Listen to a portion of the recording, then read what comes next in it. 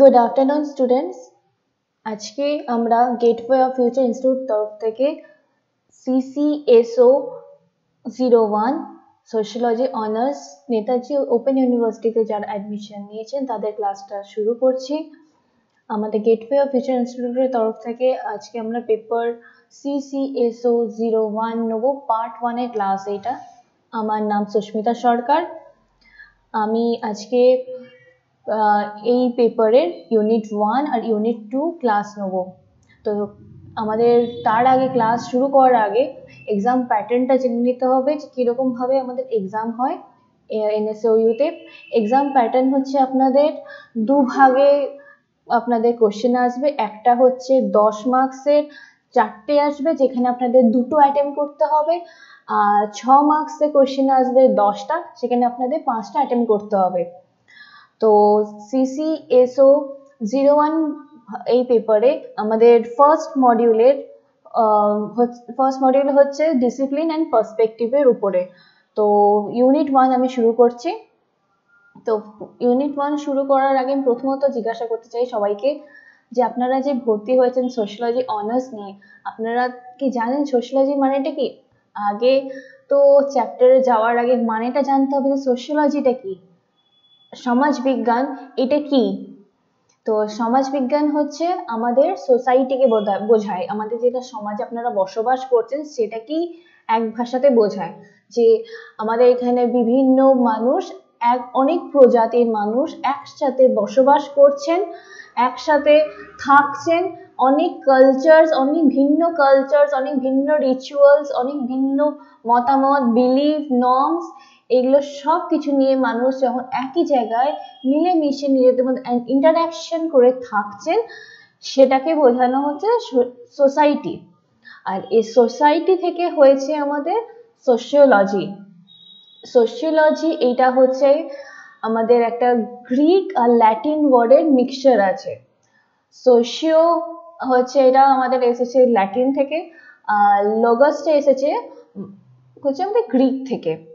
তো সোশিও মানে হচ্ছে কম্প্যানিয়ন আর লগস হচ্ছে আমাদের এটা ওয়ার্কিং প্রসেস আমাদের দিন যেভাবে আমরা কাজ করছি, সেই প্রসেসটাকে এখানে বোঝানো হয়েছে। তো সোশ্যোলজিকে আমরা আরও কি বলতে পারি? এটা হচ্ছে একটা আমাদের সাইন্টিফিক ওয়ে যেখানের মধ্যে আমাদের বলতে পারেন যে একটা সাইন্টিফিক ওয়ের মধ্যে আমাদের সিস্টেমেটিক একটা চলাফেরার জন্য একটা মানুষের হিউম্যান সোসাইটিতে আমাদের যেখানে বোঝানো হয় একটা মানুষের কীরকম আচরণ বিহেভিয়ার তারপরে বলতে পারেন তাদের মধ্যে রিলেশনশিপসগুলো, তারপরে বলতে পারেন যে আমরা একটা মানুষের সাথে কীভাবে ইন্টারাকশন করছি, কথোপকথন করছি, তারপরে অনেক কালচার অনেক মানুষ একসাথে একটা জায়গায় বসবাস করে, নিজেদের মধ্যে কি করে গ্রোথ করছে, কি করে প্রোগ্রেস করছে, এটাই তো হয় সোসাইটি ফর এক্সাম্পল আমি একটা এক্সাম্পল দিচ্ছি। ধরুন কয়েকটা বাড়ি কি করে, আমাদের একটা পাড়া কি করে তৈরি হয়? পাড়া কি করে তৈরি হয় জানেন? কয়েকটা বাড়ি যেখানে অনেক বিভিন্ন মানুষ মানে এক একটা মানুষ এক একটা ক্যারেক্টার হয়। সবার ক্যারেক্টার কিন্তু এক হয় না। একসাথে তিন চারজনকার ক্যারেক্টার একই রকম হয় না। যতগুলো মানুষ, যতগুলো ইন্ডিভিজুয়াল আছে, তাদের বিভিন্ন ক্যারেক্টার আলাদা আলাদা আছে। তাদের মধ্যে বিশ্বাস অনেক প্রকারের আছে। তাদের নর্মস অনেক রকমের আছে, তারা কি ভাবছেন, কি কাজ করছেন সব কিছু অন্য রকমের আছে। তো এতগুলো মানুষ কয়েকটা বাড়ি মিশে ধরুন ছটা, দশটা পাড়া ছটা, দশটা মিশিয়ে একটা ছোট পাড়া হলো। এরকম করে আরও দুটো, তিনটে পাড়া হলো। এই করে একটা তৈরি হলো একটা কলোনি। দুটো, তিনটে এইভাবে কলোনি থেকে শুরু হচ্ছে আমাদের, কি বলা যায় না? দুটো তিনটে কলোনি মিশিয়ে একটা সোসাইটি তৈরি হয়, যেখানে অনেক কালচারের মানুষ, অনেক ভিন্ন জাতির মানুষ একসাথে থাকে। তো সে ভিন্ন জাতের মানুষরা যখন নিজেদের মধ্যে কালচারটা শেয়ার করছে, ধরুন একটা সোসাইটির মধ্যে সব হিন্দু থাকতে হবে তার তো কোনো মানে নেই, বা সব খ্রিস্টান থাকবে তার কোনো মানে নেই।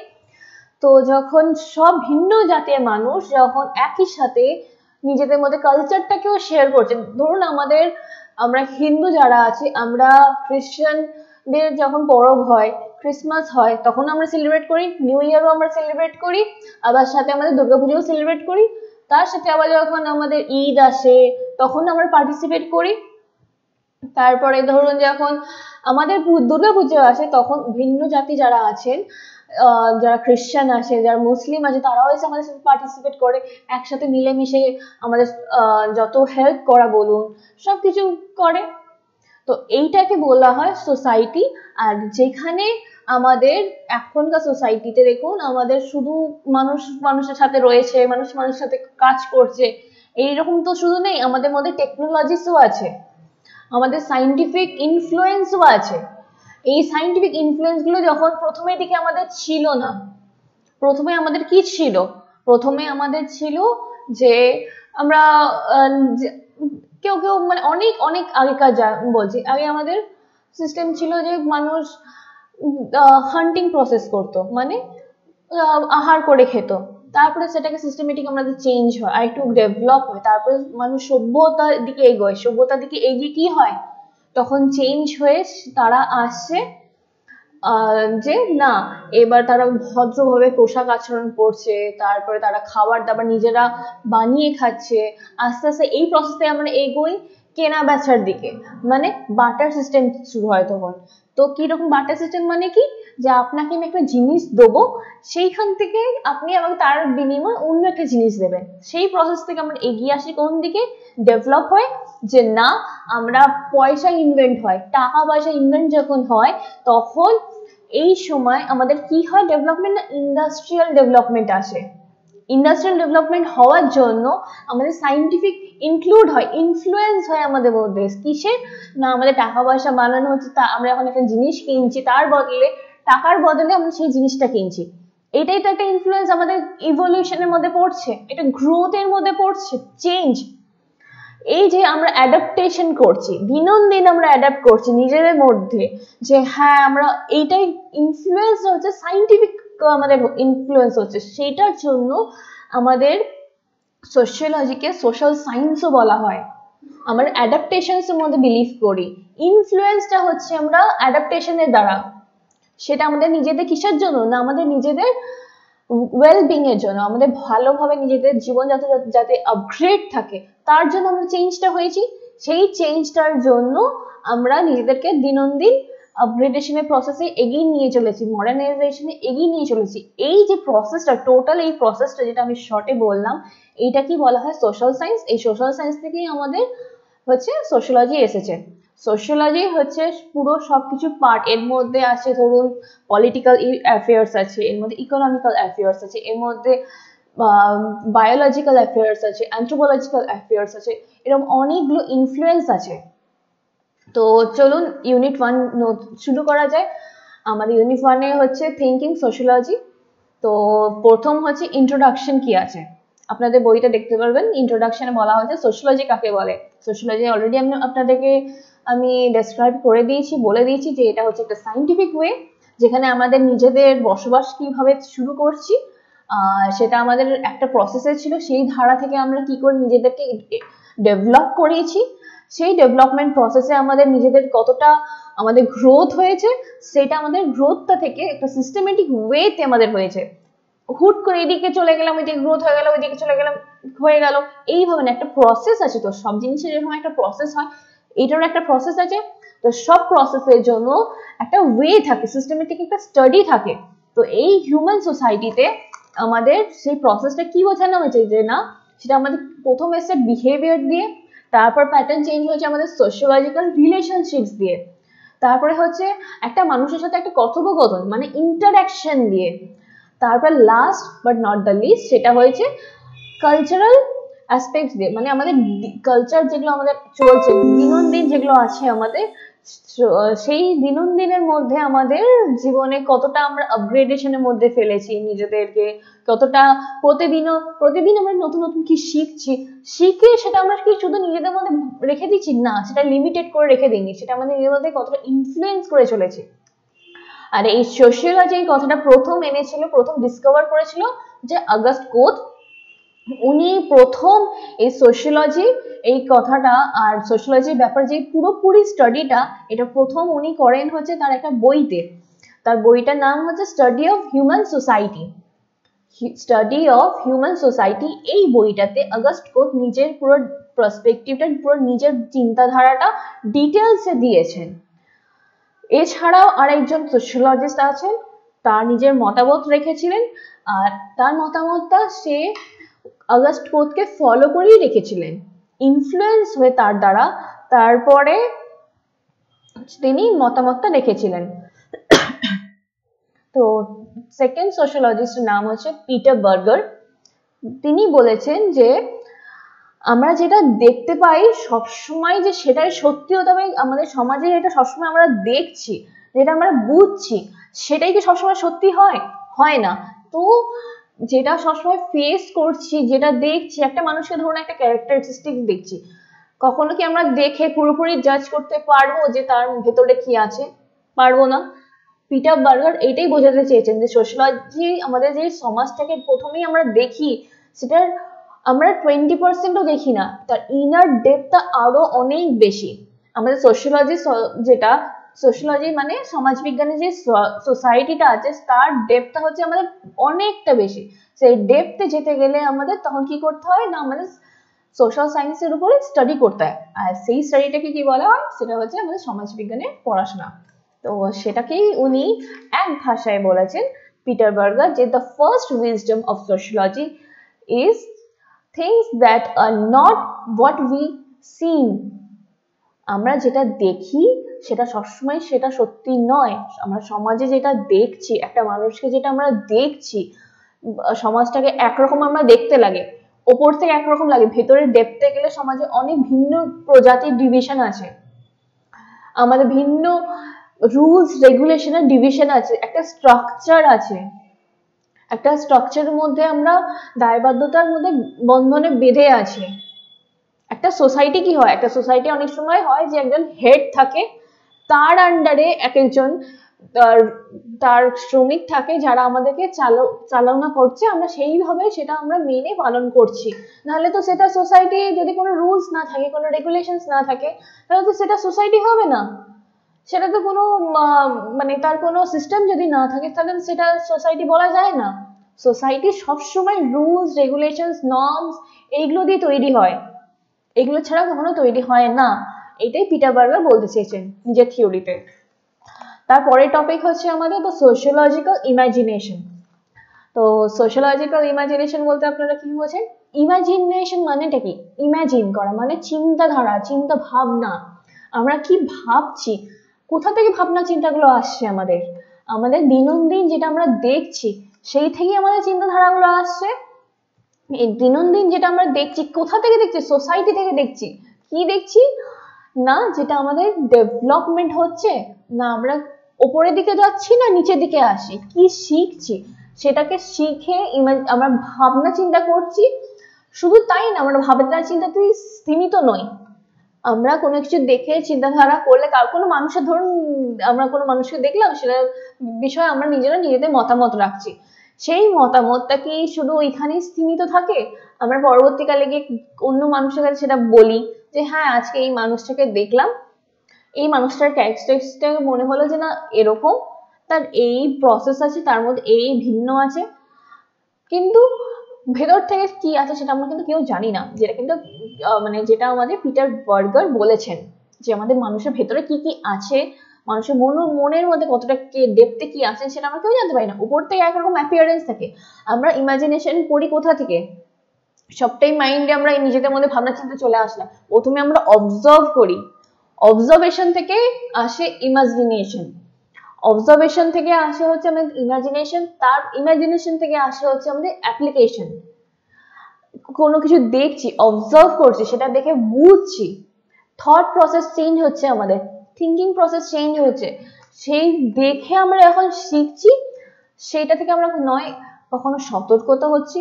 কখনো সেটা দেখে আমরা ভাবছি যে না, আমাদের নতুনত্ব শিখলাম, সেটা দেখে আমরা আরও জানি, আগ্রহ গ্রহ করে আমাদের জানার। আর কি হয়? অনেক সময় আমাদের ইমাজিনেশনের রিলেশনশিপস তৈরি হয়। অনেক সময় আমাদের ইমাজিনেশন থেকে রিলেশনশিপ তৈরি হয়। আমাদের আপনাদের সাথে আমাদের রিলেশন কি? আপনারা আমার স্টুডেন্টস আমি হচ্ছে আপনাদের টিচার তা এইভাবে আমাদের যে রিলেশনশিপটা এটা কোথা থেকে আসছে?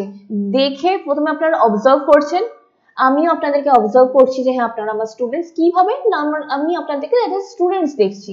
আর আপনারা আমাকে কীভাবে দেখছেন? এজ এ টিচার দেখছেন। এই যে টিচারটা আপনারা দেখছেন, এই প্রসেসের মধ্যে আপনারা যেটা বুঝতে পারছেন যে হ্যাঁ আমার টিচার এখানে আপনাদেরকে এসে পড়াচ্ছে, এটা আপনারা কি করছে? দেখছেন, তারপর আমাদের মাইন্ডে কি হচ্ছে? এটা ক্লিক করছে। তারপর এইখান থেকে আমাদের থট প্রসেস হচ্ছে, সেই থট প্রসেস থেকে আমাদের এখান থেকে ইমাজিনেশন হচ্ছে। এইখানে মাইন্ডে যতক্ষণ না ইমাজিনেশনটা হবে, দেখে অবজার্ভ করে ততক্ষণ ইমাজিনেশন হয় না। আর এটা সোশিওলজিক্যাল ইমাজিনেশন কেন বলা হয়েছে? কারণ আমরা সমাজের যা যা দেখছি, সেই সমাজের চিন্তাধারাকে বলা হচ্ছে আমাদের ইমাজিনেশন সেটা আইদার আমাদের গ্রোথ হতে পারে সমাজের ডেভেলপমেন্টের জন্য করতে পারি, শুধু কি সবসময় নিজের ওন সেলফের জন্য হয় ইমাজিনেশন সবসময় নিজের ওন সেলফের জন্য ইমাজিনেশন হয় না, চিন্তাধারা হয় না। ম্যাক্সিমাম আমাদের সোশ্যালজিক্যাল ইমাজিনেশন কিসের জন্য হয়? সমাজের চিন্তাধারা আমাদের সমাজের ডেভেলপমেন্টের জন্য, সমাজের উত্থানের জন্য হয়। আমাদের সমাজের যেখানে আমাদের গ্রোথ হতে পারে, তার জন্য আমরা করি। এছাড়া আমরা কি বলতে পারি? এর বিষয় সোশ্যাল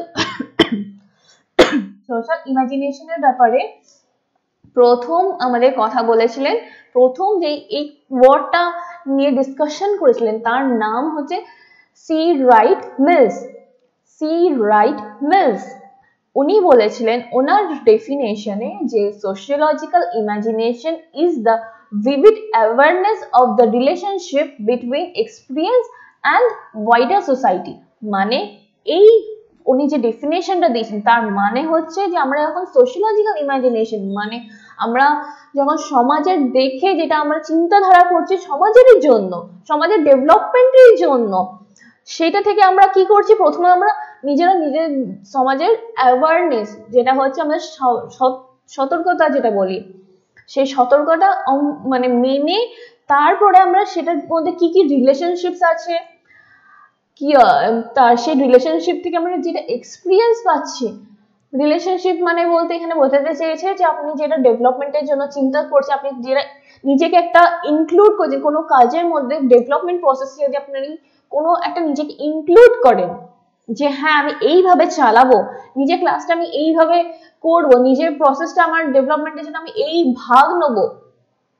সাপোজ আপনি যখন আমাদের ভোটিং সিস্টেম হয় ভোটিং এর সময় কি হয়? আমরা প্রত্যেকটা নাগরিক আমাদের ভোট দিতে যাই। ভোট দিতে যাই তো? সেখানে আমরা কি করছি? আমরা নিজেদের পার্টিসিপেশন করছি পার্ট নিচ্ছি। কি করতে? না, আমাদের যাতে ডেভেলপমেন্ট প্রসেস যখন ভোটিং হচ্ছে, সেটা আমরা কি চাইছি? যে আমাদের সমাজে নিজেরা নিজেদের মতন চাইছি যে এরকম ভাবে আরও গ্রোথ হোক ডেভেলপমেন্ট হোক। ভোট তো এমনি এমনি গিয়ে এমনি এমনি কোনো কারণে দিয়ে আসে না। আমাদের ডেভেলপমেন্টের জন্য তো দিই। আমাদের যে সমাজ, আমাদের এটা সোসাইটি আছে, সেটা গ্রোথ হয়, সেটার জন্য তো আমরা দিই। তো সেই প্রসেসে আমরা কি করছি? সেই প্রসেসে আমরা নিজেদের পার্টিসিপেশন করছি। সেই পার্টিসিপেশনের যে রিলেশনশিপটা আমরা নিজেদের মধ্যে গ্রো করাচ্ছি, সেইখানের, সেই এক্সপিরিয়েন্স আমরা তারপরে কি করছি? ভোটিং এর পরে একটা এক্সপিরিয়েন্স গেন হয় যে হ্যাঁ আমাদের যে লিডার আমরা যাকে চুজ করেছি, নিজেদের ভাবছি যে, না, এ আমাদের ঠিকঠাক চালাবে, আমাদের সমাজটাকে ঠিকঠাক, রাস্তা একটা সিস্টেমেটিক আর সাইন্টিফিক ওয়েতে আমাদের একটা ঠিকঠাক প্রসেসে চলাবে, চলবে আমাদের একটা সমাজ, আমাদের অ্যাকচুয়াল যেটা সমাজ যেটা চলার উচিত, সেইভাবে চলবে, এই দেখে আপনারা একটা ভোট করেছিলেন। তারপর সেই লিডারটা যখন তার নিজের পাওয়ারে এলো সে অথরিটিটা যখন নিজের হাতে নিল, তখন সে যেইভাবে কাজটা করছেন, তখন সেই কাজটাকে বলা হচ্ছে, আপনারা দেখে তখন বুঝতে পারছেন যে হ্যাঁ অ্যাকচুয়াল আপনারা ঠিক লিডার চুজ করেছিলেন নিজের লাইফে নিজের ভোটিং সিস্টেমের দ্বারা। না আপনারা ভুল সিস্টেম ভুল কাউকে চুজ করেন এইটা আপনারা যখন এক্সপিরিয়েন্সের দ্বারা আপনারা নিজেরা ভাবটা প্রকাশ করছেন, আপনাদের ভাবনা চিন্তাটা যেটা মাথা ইমাজিনেশন করেছিলেন, যেটা প্রকাশিত যখন হচ্ছে, তার কথা এখানে সি রাইট মিলস বলেছেন। তারপরে আমরা আরও বলতে পারি যে, উনি নিজের ইমাজিনেশন প্রসেসে বলেছিলেন যে আমাদের এর মধ্যে কিছুটা ইনফ্লুয়েন্স পার্ট থাকে। চিন্তাধারা, আমরা শুধু তো চিন্তাধারা করে বা ভেবে চিন্তা নিজেদের মধ্যে এগোই না, নিজেদের মধ্যে কিছু চিন্তাধারার পার্ট থাকে, তার সম্বন্ধে কিছুটা ইনফ্লুয়েন্স হয়। বাইরে থেকে আমাদের কিছুটা ইনফ্লুয়েন্স পাই, আমরা বাইরে থেকে সেটা কিছুটা গ্রোথের সময় বলতে পারেন বা যে কোনো প্রসেসে বলতে পারেন, সেটা আমাদের নিজেদের মধ্যে ইনফ্লুয়েন্সটা হচ্ছে। কোথা থেকে হচ্ছে সেটাও তো জানতে হবে। আমাদের সোসাইটি থেকে যখন কোনো কিছু দেখছি, সেটাকে দেখে তো চিন্তাধারা করে ভাবছি যে হ্যাঁ আমাদের এটা ভালো হবে কি কি হবে, খারাপ হবে। সেইটা দেখে এখন আমরা চিন্তাধারা করে ভেবে চিন্তে আইদার দেখে আমরা ইনফ্লুয়েন্স হচ্ছি চিন্তাধারা অবজার্ভ করে, আর না হলে অন্য কোনো মানুষ আমাদের এসে স্টেপ নিচ্ছে। অন্য কোনো মানুষ আমাদের মধ্যে এসে সেটা স্টেপ নিচ্ছে কিসের জন্য? না ইনফ্লুয়েন্স করার জন্য। আমাদেরকে চিন্তাধারাটা আরও একটা ডিরেকশন থেকে আরেকটা ডিরেকশনে যদি চেঞ্জ করতে হয়, সেটাকেও হেল্প করছে সেই অন্য একটা মানুষ এসে আমাদেরকে এগিয়ে যাওয়ার জন্য। ইনফ্লুয়েন্স করছে। আর একটা জিনিস তিনি বলেছেন যে একটা মানুষের সাথে আমাদের সবসময় একটা মানুষের পার্সোনাল এক্সপিরিয়েন্স দিয়ে, নিজেদের এক্সপিরিয়েন্স একটা কারণ দিয়ে আমরা সেটা ইনফ্লুয়েন্সটা হই। এমনি এমনি হট করে কেউ বলল যে হ্যাঁ এরকম এরকম, চলো, এই কাজটা করি। আমরা তো হব না, তার আগে দেখব সে কতটা এক্সপিরিয়েন্স আছে বা কতটা কাজটা ঠিক। আমরা সেটা কি করি? জাজ করি। নিজেদের মধ্যে ডিভাইড করি জাজ করি। তো এই প্রসেসগুলো উনি মিলস নিজে একটা বুকে বলেছেন, একটা বইয়েতে পুরো ডেসক্রাইব করেছেন। তার বইটার নাম হচ্ছে দ্য সোশিওলজিক্যাল ইমাজিনেশন আচ্ছা আমি একটা আপনাদের একটা কথা বলে দিই, সেটা হচ্ছে আমি যে বুকসগুলোর নামগুলো বলব এইগুলো অনেক সময় কিন্তু কোয়েশ্চেন্স আপনাদের নাও থাকতে পারে, কিন্তু আপনারা এখন অ্যান্সার নোট ডাউন করবেন অ্যান্সার এখন লিখবেন এক্সামে যখন আপনারা লেখার সময় এই যদি বইগুলো ইনক্লুড করে দিতে পারেন কখনো অ্যান্সারের মধ্যে। তো আপনাদের এগুলো প্লাস পয়েন্ট হিসাবে কাজ করার। অনেকটা বেশি প্লাস পয়েন্ট হিসাবে কাজ করে আপনাদের একটা স্ট্রাকচারাল অ্যান্সার দিতে হেল্প করে। তো অনেক সময় যদি দেখে, দেখতে পাবেন যে কোশ্চেনে নেই, বইয়ের নাম জিজ্ঞাসা করেনি, তো তারপরেও এগুলো কিন্তু আপনারা ইনক্লুড করে দেবেন। এগুলো মার্কস তুলতে হেল্প করে। আর একটা জিনিসটা বলে দিই, আমাদের এখন সোশ্যোলজিতে ডিফারেন্স লিখতে হয়। রিলেশনটা লিখতে হয় কেমন জানেন? রিলেশনের মধ্যে কোনো এরকম মাঝখানে লাইন টেনে দুদিকে দুটো এইভাবে লিখতে হয় না। ঠিক সেম ভাবে আমাদের যখন ডিফারেন্সেস লিখতে হয়, তখন অন্য অন্য সাবজেক্টে মাঝখানে এরকম ডিভাইড করে এরকম মাঝখানে একটা লাইন টেনে দুটো দুদিকে এইভাবে লিখতে হয়। কিন্তু সোশিওলজিতে আমাদের এরকম মাঝখানে লাইন করে টেনে ডিভাইড করে এরকম লিখতে হয় না। আমাদের ডিফারেন্সেস লিখতে গেলে ধরুন আমি যদি বলি যে সোশিওলজি আর অ্যান্থ্রোপোলজির মধ্যে ডিফারেন্স লিখুন। আপনারা এরকম মাঝখানে লাইন টেনে দুটো দুদিকে লিখবেন, কখনোই নয়। আমাদের ডিফারেন্স করা হয় ওয়ারাস দিয়ে, না হলে ইফ দিয়ে। ম্যাক্সিমাম ওয়ারাস দিয়ে ডিফারেন্সটা করা হয়। ধরুন নাম্বার ওয়ান পয়েন্টে লিখলেন, প্রথমে আপনি সোশিয়োলজি ডিফারেন্ট ডেফিনেশনটা দিলেন সোশিয়োলজি ব্যাপারে যা যা ছোট শর্টে দিলেন ফার্স্ট পয়েন্টে লিখলেন, তারপরে আপনারা ওয়ারাস দিলেন কমা দিয়ে ওয়ারাস দিয়ে আবার কমা দেবেন। তারপরে ওই নিচের লাইন থেকে অ্যান্থ্রোপোলজি অ্যান্থ্রোপোলজির ডেফিনেশনটা লিখবেন। অ্যান্থ্রোপোলজি ডেফিনেশনটা কমপ্লিট হয়ে গেল, তারপর আপনারা সেকেন্ড পয়েন্টে আসুন। সেকেন্ড পয়েন্টে সেম প্রসেস ফলো করবেন। সোশিয়োলজি ব্যাপারে যা আপনি সেকেন্ড পয়েন্টে লেখা লিখলেন, তারপরে ভাইরাস দিয়ে আবার ডিফারেন্স করলেন, তারপর আবার অ্যান্থ্রোপোলজি লিখবেন। এইভাবে আমাদের কিন্তু ডিফারেন্সগুলো করা হয়। আমাদের কখনো মাঝখানে লাইন টেনে কিন্তু ডিফারেন্স লেখা হয় না। এটা কিন্তু নেগেটিভ পয়েন্টে চলে যাবে লিখলে এটা কখনোই এভাবে সোশ্যোলজি লেখা হয় না। তো আমরা নেক্সট পয়েন্টে ফিরে আসছি। নেক্সট পয়েন্ট হচ্ছে the the classical tradition perspective of sociology তো ক্লাসিক্যাল পার্সপেক্টিভ আমরা কি কি বলতে পারি? ক্লাসিক্যাল পার্সপেক্টিভের মধ্যে হচ্ছে আমাদের প্রথম হচ্ছে আমাদের চারটে ভাগে ভাগ করা হয়। ট্র্যাডিশন হচ্ছে আমরা যেটা ভাবনা চিন্তা, যেটা আমাদের প্রথম থেকে একভাবে এক ধারায় চলে এসেছে। এক ধারায় আমরা ভিন্নভাবে দেখে এসেছি যে আমাদের সোসাইটিতে আমাদের সমাজটা প্রথমে কি ছিল, আস্তে আস্তে ডেভেলপ কেমন হয়েছে। সেটা হচ্ছে ট্র্যাডিশনাল প্রসেস ট্র্যাডিশনাল পার্সপেক্টিভ মানে হচ্ছে চিন্তাধারার সেই প্রসেসটাকে এখানে বোঝানো হয়েছে সোশিয়োলজির মধ্যে। যে ধরুন আমরা একদম অনেক আগে যদি চলে যাই তখন মানুষ নিজেরা রান্না করেও খেতে জানতো না। নাহি, তাদের ঠিকঠাক পোশাক মানে পোশাক কিছু পরার জন্য ছিল। তখন তারা হান্টিং করে খেত। দিন তারা শিকার করে খেত। তারপর সেটা আস্তে আস্তে আমাদের গ্রো হয়, একটু আপগ্রেড হই। তখন আমরা চেঞ্জ হয়ে কি করি? তখন আমরা চেঞ্জ হয়ে সেই প্রসেসটা থেকে এগিয়ে এসে আমরা আস্তে আস্তে ভালোভাবে কাপড় পরতে শিখি। তারপর সেটা থেকে আমরা রান্না রান্না করে খেতে শিখি।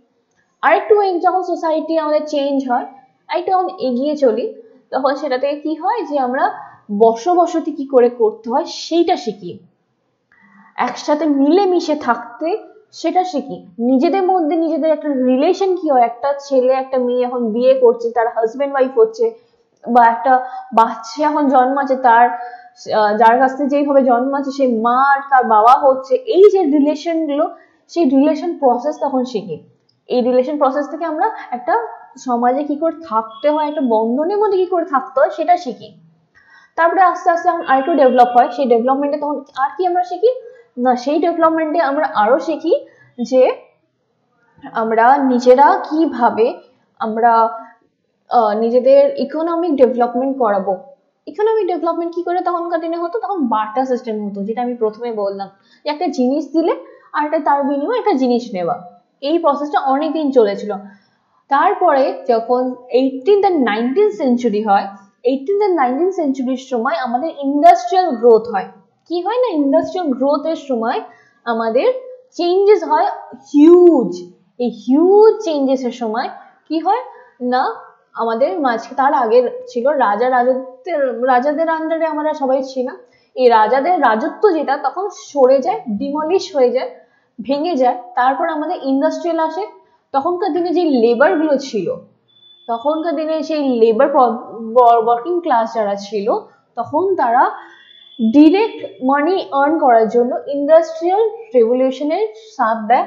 সেই রেভলিউশন হওয়ার জন্য আমরা ইন্ডাস্ট্রিয়াল প্রসেসে করি যেটা আমাদের সাইন্টিফিক ডেভেলপমেন্ট করে। এই সাইন্টিফিক ডেভেলপমেন্ট করার জন্য আমরা তখন কি করি? তখন ডাইরেক্ট ইনকাম করি, যে মানে আমাদের জিনিস কিনতে গেলে সেটা টাকার বিনিময়ে কিনি। তো এই ধীরে ধীরে যে প্রসেসটা এটা আস্তে আস্তে কি হচ্ছে? একটা ট্র্যাডিশনাল ভাবে আস্তে আস্তে গ্রোথ হয়েছে। একটা ওয়েতে একটা ট্র্যাডিশনালে গ্রোথ হয়েছে আমাদের। এই গ্রোথটাকে বলা হয় ট্র্যাডিশনাল পার্সপেক্টিভ সেটা একটা ক্লাসিক্যাল ওয়েতে হচ্ছে, একটা ফরম্যাটে হচ্ছে। তো এর আমি বলতে পারি চারটে ভাগ আছে। ক্লাসিক্যাল ট্র্যাডিশনাল পার্সপেক্টিভ এর চারটে ভাগ আছে। প্রথমটাকে বলা হয় the functional perspective of sociology functionalist perspective আমরা কি বলতে পারি? যে না, এইখানে বোঝানো হয় যে আমাদের সোসাইটিটা কতটা কমপ্লেক্স আছে। সোসাইটিটা কতটা আমাদের সিস্টেমে একসাথে মিলেমিশে যে আমরা কাজটা করছি, সেই কাজটার মধ্যে আমাদের কতটা আমরা নিজেদেরকে স্বচ্ছতাভাবে মেনটেন করতে পারছি, নিজেদের মধ্যে কানেক্টিভিটি রাখতে পারছি। সেটার মধ্যে আমরা নিজেদের কতটা গ্রোথ করানোর জন্য, কতটা প্রমোশন করানোর জন্য আমরা ওয়ার্ক প্রসেসে করতে পারছি। তারপরে আসছে আমাদের নেক্সট নাম্বার টু পয়েন্ট হচ্ছে দ্য কনফ্লিক্ট পার্সপেক্টিভ তো কনফ্লিক্ট পার্সপেক্টিভ আচ্ছা কনফ্লিক্ট পার্সপেক্টিভ বলার আগে আমি বলে দিই, যেটা আমি মিস করে গেছি পয়েন্টটা যে দ্য ফাংশনাল পার্সপেক্টিভ যেটা, সেটা দু তিনজন সোশ্যোলজিস্টের ইনফ্লুয়েন্স ছিল। প্রথম হচ্ছে আমাদের অগাস্ট কোন্থ সেকেন্ড হচ্ছে দ্য হার্বাস স্পেন্সার এই দুজনকার হিউজ ইনফ্লুয়েন্স ছিল, যারা এখানে পুরোপুরি নিজেদের সোশিয়োলজিক্যাল পার্সপেক্টিভ নিজেদের চিন্তাধারার যে থিওরি সেই থিওরিতে তারা বলেছেন যে আমাদের সোসাইটি সবসময় একটা কমপ্লেক্স প্রসেসে থাকে। কখনো সোসাইটি সরল সিধাভাবে কোনো কাজ হয় না। সবসময় একটা ইনফ্লুয়েন্স থাকে ওর মধ্যে যে হ্যাঁ এই কাজটা এইভাবে হলে এর থেকে আমাকে আরেকটা স্টেপ যেতে হবে, তারপরে আরেকটা স্টেপ আরেকটা তারপরে লাস্টে আমরা ফাইনাল ডেস্টিনেশনে পৌঁছাবো। তো সেই প্রসেসটাকে বলা হয় কমপ্লেক্স সিস্টেম সরল সরলভাবে হয় না। সেটাকে আমরা কি করি? ইন্টার কানেক্টিভিটি বাড়িয়ে করি। সেটা আমাদের নিজেদের একসাথে মিলেমিশে করি। টুগেদারনেস থাকে আমাদের কোনো কাজকে কমপ্লিট করতে গেলে। একা একা সব কাজ সবসময় সম্ভব নয়। সোসাইটি আমাদের সমাজকে গ্রোথ করানোর জন্য ডেভেলপমেন্ট প্রসেসে এগোনোর জন্য কেউ একা কোনোদিন এগিয়ে সোসাইটিকে ডেভেলপমেন্ট করাতে আজ অব্দি পারেনি। তো সেইখান থেকে আমাদের কি আসে না? একটা স্টেবিলিটি আসে। লাস্টে আমাদের এটা প্রসেসটায় কি আসে না? একটা স্টেবিলিটি আসে। সরি তারপরে আমাদের নেক্সট হচ্ছে number B number two topic হচ্ছে দ্য কনফ্লিক্ট পার্সপেক্টিভ এর ব্যাপারে প্রথম বলেছিল হচ্ছে কালমার্কস খুব ফেমাস সোশ্যোলজিস্ট খুব ফেমাস র্যাশনালিস্ট উনি এর মধ্যে বলেছেন যে দ্য কনফ্লিক্ট প্রসপেক্টিভের মধ্যে যে একটা আমাদের থিওরি থাকে। এটা বিল্ডিং প্রসপেক্টিভ মানে একটা থিওরিকে এখন আমরা বানাই, একটা সোসাইটিকে আমরা এখন বানাই, তার একটা স্ট্রাকচারাল ওয়ে থাকে। সেই স্ট্রাকচারাল ওয়েটাতে আমরা বলতে পারি যে আমাদের তার মধ্যে অনেক ইনইকুয়ালিটি থাকে, একটা মানুষের মধ্যে একটা ভেদাভেদ থাকে। কার্ল মার্কস নিজের থিওরির মধ্যে দুটো ভাগ বুঝিয়েছেন, একটা হচ্ছে আপার ক্লাস একটা হচ্ছে লোয়ার ক্লাস একটা হচ্ছে আপার ক্লাস একটা হচ্ছে লোয়ার ক্লাস আপনাদেরকে আমি এখানে দেখাচ্ছি। আপনারা বুঝতে পারবেন যে এইখানে কার্ল মার্কস বলেছেন নিজের যে একটা হচ্ছে আপার ক্লাস এই এইখানটা হচ্ছে আপার ক্লাস আর এটা হচ্ছে লোয়ার ক্লাস এই আপার ক্লাস আর লোয়ার ক্লাসের ডিভিশনটাকে উনি দুটো নাম দিয়েছিলেন। দুটো ভাগে উনি ডিভাইড করেছিলেন। সেই ডিভাইড ডিভিশন নাম হচ্ছে আপার ক্লাসে যে এটা বুর্জুয়াইজ এটা হচ্ছে প্রোলেতারিয়েত এটা হচ্ছে বুর্জুয়াস এটা হচ্ছে প্রোলেতারিয়েত দুটো ডিভিশন করেছিলেন। বুর্জুয়াসদের কাদের বলা হয়? যারা ডমিনেট করত যেসব সমাজে যেসব মানুষরা আপার ক্লাসের মধ্যে, যারা এলিট মানুষ, যারা ধরুন ম্যাজিস্ট্রেট যারা রয়্যাল ফ্যামিলি যারা কিং এইসব মানুষ যারা ছিল, যারা কোনো ইন্ডাস্ট্রির যখন হয়, তখন ইন্ডাস্ট্রির যারা হেড থাকতো, তারা কি হতো?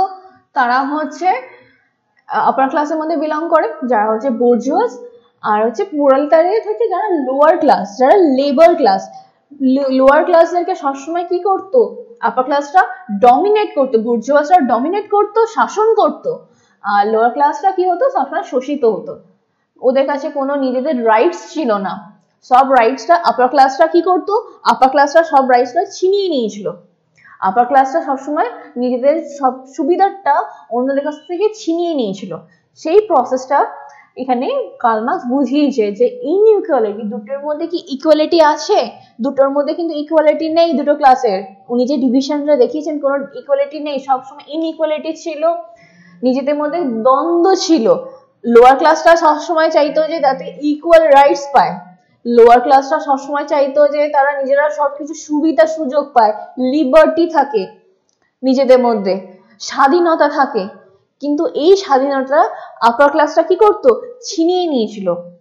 কারণ যদি লোয়ার ক্লাসটা যদি স্ট্রং হয়ে যায় লোয়ার ক্লাসটা যদি প্রলেতারিয়াতটা যদি স্ট্রং হয়ে যায়, তাহলে কি হবে? সেম সেম ইকুয়াল লেভেল তখন চলে আসবে। আইদার ইকুয়াল লেভেল হবে, না হলে বুর্জুয়াসদেরকে টোপকে তারা তখন আপার ক্লাসে পৌঁছে যাবে, আর বুর্জুয়াসরা তখন কি হবে? সাইকেলে লোয়ার ক্লাস পৌঁছে যাবে। তো কেউ কি চাইবে? যারা আপার ক্লাস রয়েছে, তারা নিচে চলে আসতে? কোনোদিন তারা চাইবে না। তারা কোনোদিন চাইবে না এই প্রসেসটাতে যারা আপার ক্লাসে রয়েছে তারা নিচে আসতে। আর যারা লোয়ার ক্লাস সব মানে লোয়ার ক্লাসটা কি করতো? সবসময় উপরে যেতে চাইতো। তো এই লোয়ার ক্লাস যারা আছে, যারা উপরে যেতে চাইতো আপার ক্লাসটা কখনো কি চাইবে যে লোয়ার ক্লাসটা উপরে আসো এইটা তাহলে কি হতো? একটা কনফ্লিক্ট হতো, দ্বন্দ্ব হতো। এই দ্বন্দ্বটাকে এখানে কালমার্কস বলেছে দ্য কনফ্লিক্ট থিওরিক্যাল পার্সপেক্টিভ তারপরে নেক্সট আমরা তিন নম্বর পয়েন্টে আসছে। তিন নম্বর হচ্ছে the social perspective actions the social or social অ্যাকশনসও বলা যেতে পারে। এইটা বলেছেন হচ্ছে ম্যাক্স ওয়েবো সোশ্যাল অ্যাকশনস মানে এটা এখানে বোঝানো কি হয়েছে? যে না, আমাদের দিনন্দিন যেটা আমাদের অ্যাকশন করছি, যেটা কাজ করছি, সেটা আমাদের নিজেদের ডেভেলপমেন্টে কতটা প্রসেসে থট প্রসেসে এগিয়ে নিয়ে যেতে পারছি।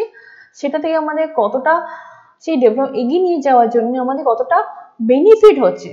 উনি এখানে মেনশন করছে বেনিফিটের কথা। যে বেনিফিট কতটা হচ্ছে, তার ব্যাপারে এখানে বলা হয়েছে।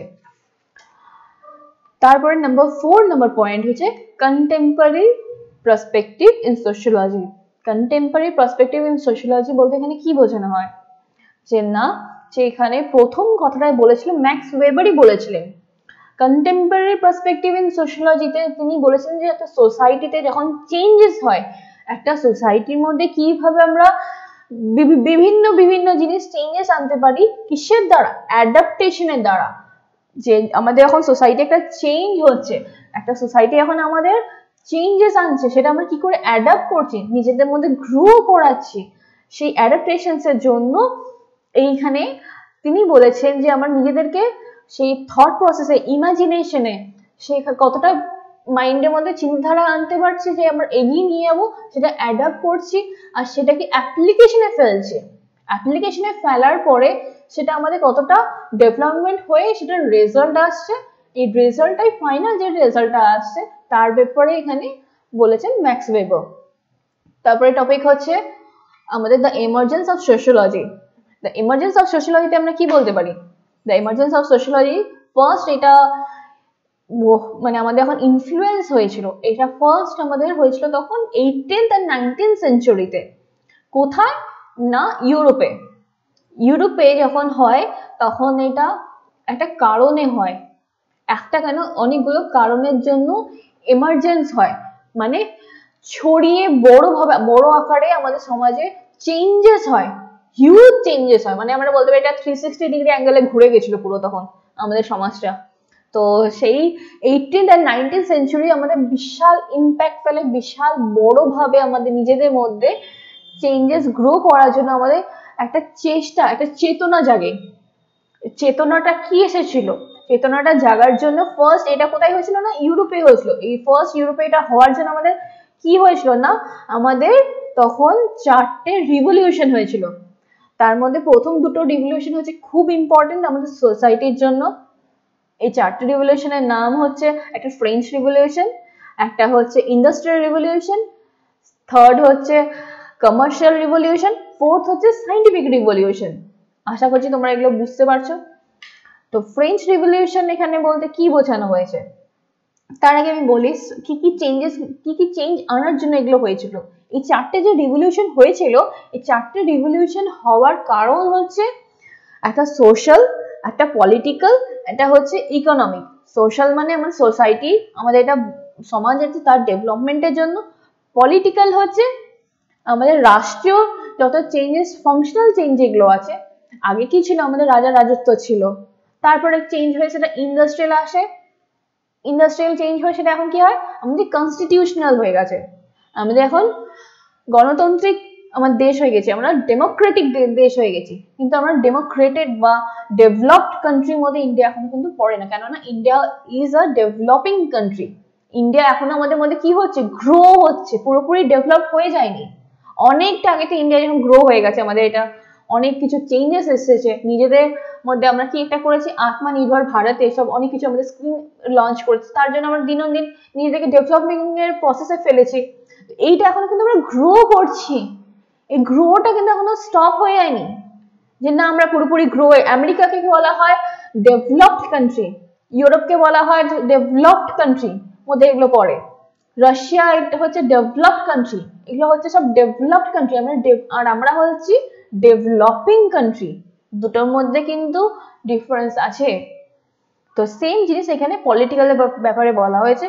ইকোনমিক ইকোনমিক বলা হয়েছে যে আমরা একটা প্রসেস আগে কীরকম ভাবে আমরা আর্ন করতাম, এখন কীভাবে আমরা আর্নিং প্রসেসে পড়েছি। এই চেঞ্জেসের ব্যাপারে এখানে বলা হয়েছে।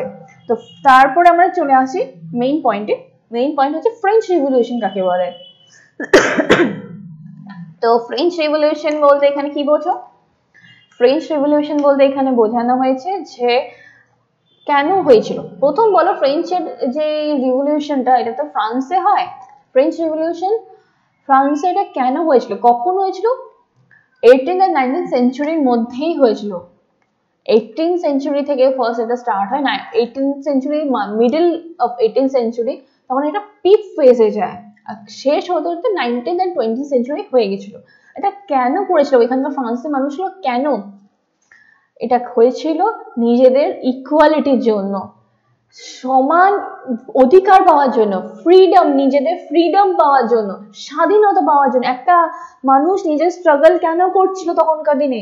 নিজেদের স্বাধীনতা থাকুক। আজকে আমরা স্বাধীন, যে যেখানে যেটা করতে চাইছে, যে যেভাবে পড়াশোনা করতে চাইছে, যে যেভাবে আমরা চাকরি করতে চাইছি সবটা আমার নিজেদের অধিকার রয়েছে। আর এই অধিকার যদি কেউ আমাদের উল্লঙ্ঘন করে, সেই অধিকার উল্লঙ্ঘন করার জন্য আমরা সেটা কি করতে পারি? লিগালিও স্টেপ নিতে পারি। যে হ্যাঁ আমাদের কাছ থেকে যদি কেউ ফ্রিডমটা কেড়ে নেয়, আমরা এই ফ্রিডম যেটা রয়েছে, সেটা যদি কেউ আমাদের কাছে কেড়ে নেয়, সেটা আমরা লিগালি তখন স্টেপ নিতে পারি।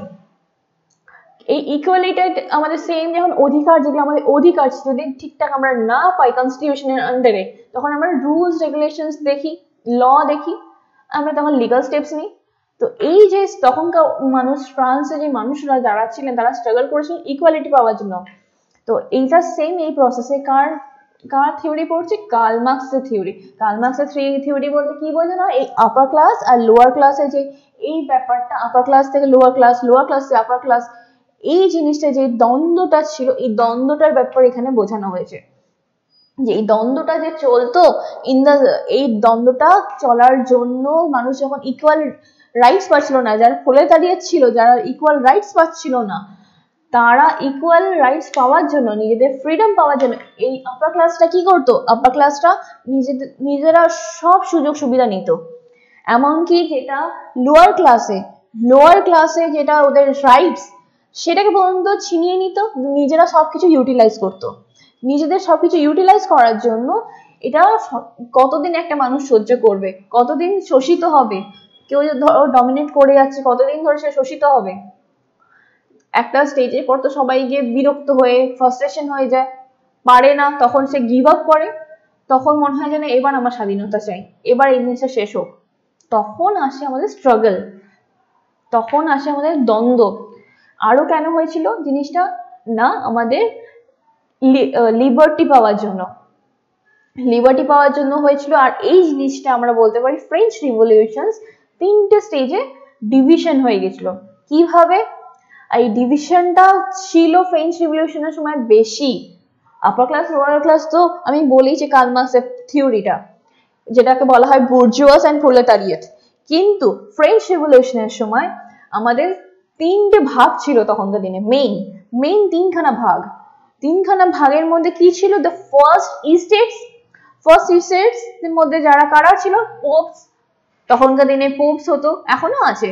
যে পোপস কাদেরকে বলা হয় যে একটা খ্রিস্টান যারা আছে তাদের চার্চে যারা ফাদাররা থাকে ফাদারকে একটা হাই পজিশনে তখনকার দিনে ধরা হতো।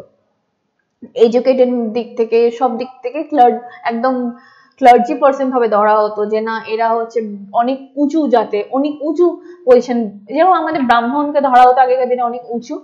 আমাদের ব্রাহ্মণদেরকে বলা হতো যে সবকিছু তারাই হ্যান্ডেল করবে। সেম ভাবে ওদের পোপসদেরকে বলা হতো। পোপস এখনও আছে। ব্রিটেনে পোপ এখনও মানা হয়। কিং কুইন এখনও আছে। ব্রিটিশের রাজ আমাদের আমাদের মতো তাদের কনস্টিটিউশনাল রাজত্ব নয় পুরোপুরি। তাদের এখনও কিং কুইনের মধ্যে এখনও ডিভিশন আছে। সেম ভাবে ওদের পোপসও আছে। তো এই জিনিসটা তখন ফ্রান্সে বেশি ছিল। তো পোপস আর হাই হাই পজিশন যারা মানুষ ক্লার্জি মানুষ মানে রাজা, রাজত্ব, এইসব জিনিস যারা বিলং করতো, তাদেরকে ফার্স্ট এর মধ্যে ধরা হতো। সেকেন্ড কারা হচ্ছে? না the second estates the second estates কাদেরকে বলা হয়? যারা হচ্ছে ল্যান্ডলর্ডস জায়গা জমি সামলায়। তারপরে হচ্ছে জাজেস যারা জাজ তখনকার দিনে জাজ ছিল। তারপরে ধরো যারা সেনাপতি। এইসব মানুষ যারা শাসন করত। শাসন, এরাও শাসনের মধ্যেই যে না, এইভাবে আমরা ডমিনেট কাদেরকে করতো? লোয়ার ক্লাসদের তো সেনাপতি সবসময় যারা নিচের শ্রেণির যারা ছিল তাদেরকে ডমিনেট করতো সেনাপতিরা।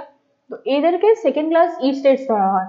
থার্ড হচ্ছে কাকে বলা হয়? দ্য থার্ড ইস্টেটস কারা? না peasants merchants artisans peasant merchant artisan কাদেরকে বলা পিজেন্টস মানে হচ্ছে যারা লোয়ার ক্লাস যারা সবসময় ডমিনেন্ট যারা ওদেরকে করা হতো ওরা শোষিত হতো। ওদেরকে সবসময় শাসন করা হতো, ওরা শোষিত হতো। শোর্ড ম্যান যাদেরকে বলা হয়, যে ওই প্রজা যারা, প্রজাদেরকে বলা হয়। তারপরে মার্চেন্ট মানে যারা ট্রেড করে, যারা ব্যবসা বাণিজ্য এক জায়গা থেকে আরেক জায়গায় নিয়ে যায়। তো অল্প জিনিস নিয়ে যায়, কিছু টাকা বিনিময় বা কিছু অল্প গুডস এক্সচেঞ্জের জন্য। তো সেই সব মানুষদেরকে মার্চেন্টস বলা হতো। আর আর্টিশিয়ানস মানে তখনকার দিনে খুব ফেমাস ছিল আঁকা। আঁকা এখনও যেমন ফেমাস আছে, তখন আঁকাটা ওর খুব উঁচু জাতে দেখা হতো না। আঁকাটা যখন নিচু শ্রেণীতে দেখা হতো যে অল্প কিছু এঁকে দিত বা কোনো ধরো কোনো ওয়াল কিছু কাজ করে দিত ওয়াল হ্যাঙ্গিং বা ওদের তো আগেকার দিনে খুব সুন্দর সূক্ষ্ম সূক্ষ্ম আমাদের কাজ ছিল, যেগুলো এখনও আমরা হিস্টোরিক্যাল পার্টে দেখতে পাই। কোনো কোনো ভিজিট করলে, ঘুরতে গেলে সেগুলো অনেক জায়গায় আছে আমাদের হিস্টোরিক্যাল মনুমেন্টস এর মধ্যে। তো ওই শ্রেণির মানুষদেরকে ছোটভাবে দেখা হতো। তো এই এই ডিভিশনটা ব্যাপারে কারা প্রথম বলে? এই ডিভিশনটা নিয়ে আলোচনা প্রথম করা হয়েছে মন্তেস্কু আর এটা হচ্ছে জন লকি। মন্তেস্কিউ ওনার থিওরিতে আর জন লকি ওনার থিওরিতে বোঝায় যে এই যে তিনটে স্টেজ এই তিনটে ই স্টেজ এটা কীভাবে আমরা নিজেরা ডিভিশন ছিল সমাজে আর এই থেকে আমাদের লোয়ার একদম যারা থার্ড স্টেটস এর মধ্যে মানুষগুলো পড়ে, তারা কতটা স্ট্রাগল করেছিল আর কীভাবে স্ট্রাগল করে নিজেদের ফ্রিডম পাওয়ার জন্য, যাতে ইকুয়ালিটি থাকে, সেটা পাওয়ার জন্য তারা লড়েছিল। তো এই লড়াইটা তখনকার দিনে খুব সোজা ছিল না যদিও। তো সেই লড়াটা, যখন লড়াইটা লড়েছিল, তখন তাদেরকে অনেক, অনেকভাবে শাসন করা হয়েছে, তারা শোষিত হয়েছিল, কিন্তু তারা কখনো থেমে যায়নি। তারা কখনো থেমে যায়নি। তো নেক্সট টপিক হচ্ছে দ্য ইন্ডাস্ট্রিয়াল রিভলিউশন এই যে আমাদের প্রসেসটা ছিল যে ফ্রেঞ্চ রিভলিউশন ফ্রেঞ্চ রিভলিউশনে আস্তে আস্তে যখন থেমে যায়, যখন এই কিছুটা সলভ হয়, তারপরে তখন কি আসে না ইন্ডাস্ট্রিয়াল রিভলিউশন আসে। ইন্ডাস্ট্রিয়াল রিভলিউশন হওয়ার সময় কি হয়েছিল? একটা বড় চেঞ্জ হয়েছিল। কিসে? না আমাদের সোশ্যাল আর ইকোনমিক লাইফে কাদের? না আমাদের মানুষদের। তখনকার দিনে আমাদের আগে ইন্ডাস্ট্রি বলে কিছু ছিল না। মিল, তারপরে আমাদের এই যে ইন্ডাস্ট্রি যেগুলো রয়েছে এগুলো কোনো কিছু ছিল না। ফ্যাক্টরি এসব কোনো সুবিধা সুযোগ ফ্যাক্টরিতে ছিল না। তখন মানুষ নিজে হাতে করে জিনিস বানাতো, সেটাই কাজ করতো। তারপরে যখন ইন্ডাস্ট্রিয়াল রিভলিউশন হয়, তখন আমাদের কি কি চেঞ্জেস আসে? তখন নতুন সাইন্টিফিক ইনফ্লুয়েন্স হয়। এই সাইন্টিফিক ইনফ্লুয়েন্স হওয়ার জন্য আর এই ইন্ডাস্ট্রিয়াল রিভলিউশনটা হওয়ার মেন কারণ হচ্ছে ফ্রেঞ্চ রিভলিউশন কেন? না, মানুষ নিজেদের মধ্যে ইকুয়ালিটি চেয়েছিল ইকুয়াল রাইটস চেয়েছিল, সমান অধিকারে টাকা ইনকাম করতে চেয়েছিল, নিজেদের সমান, নিজেদের লাইফস্টাইল চেয়েছিল। এই লাইফস্টাইলটা সমানভাবে চাওয়ার জন্য তখন কি হয়? ইন্ডাস্ট্রিয়াল রিভলিউশন হয়। এই ইন্ডাস্ট্রিয়াল রিভলিউশনটা তখন অনেক কারণ থাকে, যে সমান অধিকারটা পাওয়ার জন্য একটা তো নতুন স্টেপ চাই। পেয়ে গেল, কি করবে তারপরে? তখন আমাদের সাইন্টিফিক ইনফ্লুয়েন্সের দ্বারা নতুন নতুন টেকনিক তৈরি হয়। কিসের? কি কি কারণে? না, আমাদের জিনিসপত্র বানানোর জন্য গুডস বানানোর জন্য। প্রোডাকশনটা তখন অনেক বেশি হয়, কেননা সাইন্টিফিক ভাবে হচ্ছে তো। মেশিন তৈরি হচ্ছে, নতুন নতুন মেশিনের দ্বারা সব জিনিসপত্র তৈরি হচ্ছে। মেশিনটা যদি না থাকে, তাহলে একটা মানুষ একদিনে কটা জিনিস বানাতে পারে? তো মেশিন আরেকটা করল যেটা হচ্ছে যে দশটা মানুষের কাজ একা, এক এক ঘণ্টা কি দু ঘণ্টার মধ্যে যে কাজটা কমপ্লিট করে দিত। এর ফলে কি হলো যে প্রোডাকশনটা আরও গ্রো করল। প্রোডাকশনটা আরও গ্রো করল অনেক লার্জ স্কেলে বিশালভাবে। তো এর থেকে আমাদের কি একটা দেখা গেল না ইকোনমিক ডেভেলপমেন্ট হলো। এই যে যখন প্রোডাকশনটা প্রচুর, যখন প্রোডাকশন প্রচুর হয়, কি হয়? সেলটাও তো প্রচুর হবে। যখন অনেক জিনিসপত্র প্রোডাকশন হয়, তখন সেলটা অনেক ভালো হবে। যখন প্রোডাকশন কম হয়, তখন কি হবে? সেলটা কম হবে। তো সেলটা কম হলে তখন কি হয়? তখন আমাদের আর্নিংটা কম হয়। এই আর্নিংটাকে তো ঠিক রাখতে হবে। তো এটা এখন কি হয়েছিল? একটা বিশাল স্কেলে একটা গ্রো করেছিল। তো এটার জন্য মানুষ কি দেখল? যে যেখানে এখানে ইন্ডাস্ট্রি সেট হয়েছে, যেখানে এখানে ফ্যাক্টরি সেট হয়েছে সেখানে তো আশেপাশে একটা জায়গায় ধরুন ফ্যাক্টরি সেট আপ হচ্ছে তার আশেপাশে আস্তে আস্তে কি হবে? গ্রো হবে জায়গাটা, আস্তে আস্তে আরও বেনিফিট বাড়বে। কারণ না, ওই ফ্যাক্টরিটা এখানে ধরুন সেট আপ হয়েছে, সেখানে তো মানুষ অনেক কাজ পাবে, অনেক শ্রমিক তো কাজ পাবে। আর এই প্রসেসে আরেকটা কি হলো? যে যে মালিক আর যে লোয়ার ক্লাস তারা লোয়ার ক্লাসরা কখনো ঘুরিয়ে ফিরিয়ে টাকা ইনকাম করতে হলো না। তারা ডাইরেক্ট মালিকের সাথে কন্ট্যাক্ট করে টাকা ইনকাম করতে লাগল। শুধু তাই না, আগে একদম নিম্ন চোখে তাদেরকে দেখা হতো। নিম্ন চোখে তার মধ্যে কোনো ভেদাভেদ ছিল। অনেকগুলো। এই সময় তখন আর কোনো ভেদাভেদ রইল না। সবাই মিলে একসাথে একই জায়গায় কাজ করতে আছে যে না এই আপার ক্লাস বলে এরকম ভাবে কাজ করবে, এই কাজগুলো শুধু সে করবে। লোয়ার ক্লাস বলে সে শুধু নিচের ক্লাস এই শুধু এই কাজগুলোই করবে। এরকম ডিভিশন তখন আর ইন্ডাস্ট্রিয়াল রেভলিউশন সময় থাকল না। ইন্ডাস্ট্রির মধ্যে এরকম কখনো ডিভিশন থাকে না। যে শুধু লোয়ার এ লোয়ার ক্লাস বলে বা লো নিচে নিচু জাতি বলে শুধু নিচে, নিচু জাতির কাজগুলোই করবে, ছোট মাত্র কাজ করবে, বড় কাজ কোনোদিন করতে পারবে না। এটা কোনোদিন হয় না। এটা কোনোদিন ইন্ডাস্ট্রিয়াল রেগুলেশন একটা ইন্ডাস্ট্রিতে হয় না। ছোট যে শ্রেণির মানুষ বলো বা ছোট জাতির মানুষ যে কাজটা করছে, একটা উঁচু শ্রেণি, উঁচু জাতির মানুষও সেম কাজও করতে পারে। আবার নিচু জাতি এখন নিচু জাতির মানুষ হয়ে কেউ যদি উঁচু জাতির কাজ করতে চায় সেটা করতে চায় করতে পারবে। তার যদি ঠিকঠাক প্রসেস থাকে। ঠিকঠাক জানা থাকে এডুকেশন লিটারেসি ঠিক থাকে। তো আরেকটা কি আমরা জানতে পারলাম এখানে ইন্ডাস্ট্রিয়াল রেভলিউশনে যে আমাদের আরবানাইজেশন গ্রোথ হলো মানে যেখানে ফ্যাক্টরি সেট আপটা হলো, তার আশেপাশে গ্রোথ হলো। কিসের না আরবানাইজেশন ভাবে? আরবানাইজেশন গ্রোথটা কি কি থেকে হয়? তার পাশে অনেক হসপিটাল সেট আপ হলো, তার পাশে অনেক এডুকেশনের জন্য তাদের স্কুল কলেজের সেট আপ হলো। তারপরে এখানে আর কি সেট হলো? যে আর দোকান, অনেক কিছু মানে মার্কেট সেট হলো ইকোনমিক্যাল গ্রোথ হলো, আর কি হলো আরবানাইজেশন হওয়ার জন্য মানুষ যারা রুরালে থাকে, যারা গ্রামে থাকে, তারা শিফট হয়ে গেল কোথায়? আরবানের জায়গায়, শহরে। শহরে কিসের জন্য? সুযোগ সুবিধা পাওয়ার জন্য। প্রথম প্রধান হচ্ছে তো তাদের ঠিকঠাক খেতে পারে, ঠিকঠাক ফুডিং আর ঠিকঠাক শেল্টার মানে থাকার জায়গা। থাকার জায়গা আর খাবার আর ক্লোথস জামা কাপড় যদি ঠিকঠাক না থাকে, একটা মানুষ কি সবসময় এইগুলো না থাকলে কি কখনো এগিয়ে পড়াশোনা করতে পারবে? আরও ডেভেলপমেন্টের কথা চিন্তা করতে পারবে? কখনোই পারবে না। তো মানুষ একদম প্রাইম যেটা একদম আমরা বলি প্রাইমারি বা প্রাইম নিডস এই নিডসগুলোর জন্য তখন কি করতে লাগল মানুষ? যে নিজেদের যেটা ঠিকঠাক প্রসেস সেটা আগে দেখে। তো সেই প্রসেসে ইন্ডাস্ট্রিয়ালে সেট আপ হলো। আরবানে গিয়ে আমরা সবাই মানে যারা রুরালে আছে, তারা গিয়ে সবাই কি হলো? সেট আপ করল। আস্তে আস্তে স্কুল কলেজে এসে ভর্তি হলো তাদের বাচ্চারা, তাদের বাড়ির যারা আছে সব। তো তার জন্য কি হলো? লিটারেসি রেটটা আস্তে আস্তে বাড়তে থাকল। যারা নিচু শ্রেণির মানুষ, যাদের লোয়ার ক্লাস যারা তাদের কাছে কি ছিল? কোনো এডুকেশনের কোনোভাবে কোনো নলেজ ছিল না। এডুকেশনের যদি নলেজ না থাকে, কখন কি একটা পুরোপুরি মানুষকে গ্রো করতে পারবে? কতটা গ্রো করবে? যদি কোনোভাবে ঠেলে ঠেলে করে, কতটা গ্রো করবে? প্রপার যদি নলেজ না থাকে প্রপার যদি আইডিয়া না থাকে প্রপার যদি প্রসেস না থাকে, একটা প্রসেস যদি সিস্টেমেটিক আর সাইন্টিফিক ওয়ে না থাকে, তো সেখানে কতটা গ্রো হবে? হবে না। তো এখন লিটারেসি একটা নিচু শ্রেণির মানুষ যখন নিচে দেখল যে, না, আমার গ্রোথটা করতে হবে। এই গ্রোথ প্রসেসে তখন সে দেখল যে, আমাকে আরও কীভাবে আমি ইনক্লুড করতে পারি নিজেদেরকে এক্সেল করানোর জন্য? তো এডুকেশন গ্রোথ যখন হলো, তখন নিজেদের মধ্যে চেঞ্জেস আসতে থাকল। এডুকেশন না থাকলে তো কোনো কিছু হয় না নলেজ ছিল না। তখনকার দিনে সেই জন্য তারা ডমিনেটের পার্ট ছিল। আর আস্তে আস্তে যখন এডুকেশন লিটারেসি রেট বাড়তে থাকল, তখন আর তারা ডমিনেন্সির পার্ট পড়ল না। তারা ডমিনেট হতে আর থাকল না। তারা নিজেদের মধ্যে আইডিয়া চেঞ্জ হতে লাগল। ক্লাস চেঞ্জ হলো তাদের। আস্তে আস্তে ক্লাস চেঞ্জ হলো। তো এইটা ছিল মার্কসিস্টের লেবার প্রসিড আইডিওলজির মধ্যে এটা পড়ে।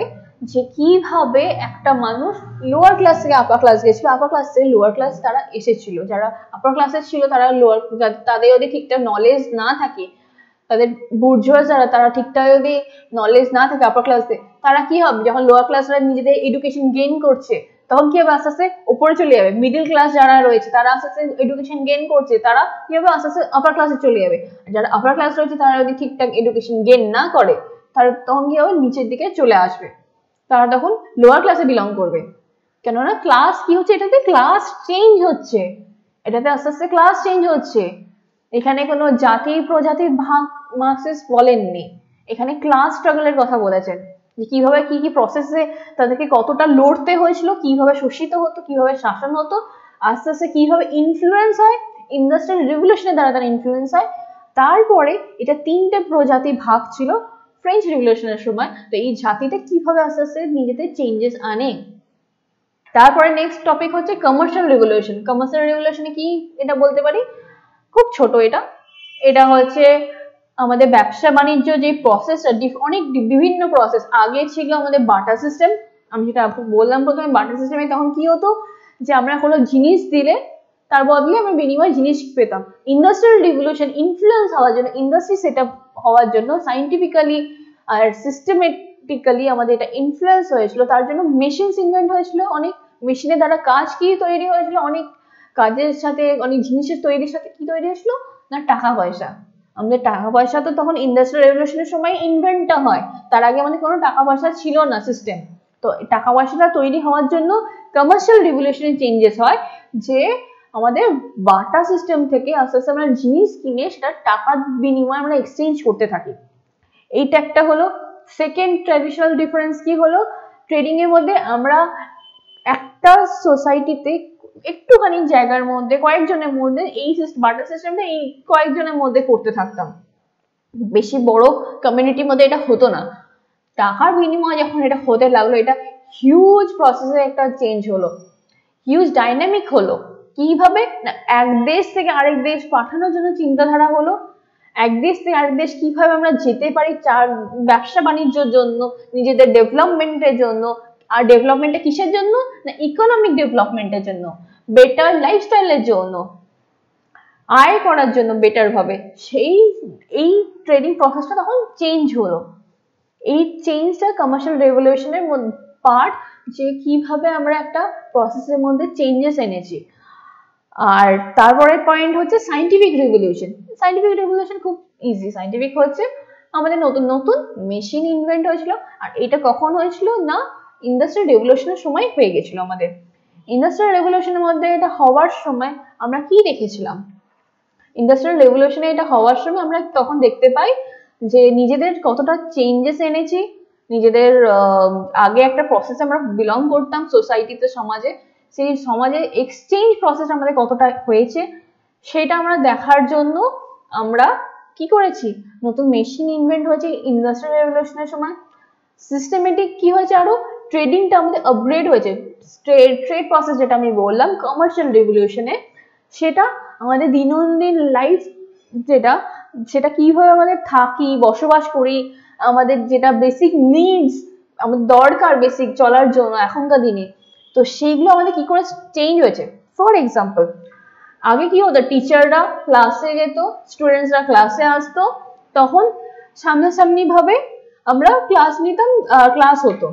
এখন সিস্টেম চেঞ্জ হয়ে আপগ্রেড কি হয়েছে? আপনারা ঘরে থাকুন, যেখানে যত দূরেই থাকুন না কেন, আমি যেখানেই থাকি না কেন, একটা টিচার যত দূরেই থাকুন না কেন অনলাইন সিস্টেম হয়ে গেছে।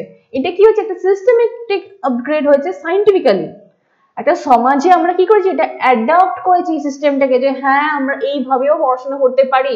আগে শুধু সিস্টেমেটিক একটা এক ধারা পড়াশোনা ছিল যে স্কুলে যেতে হবে স্কুল বা কলেজে যেতে হবে কলেজে গিয়ে তবেই ক্লাস হবে, নাহলে হবে না।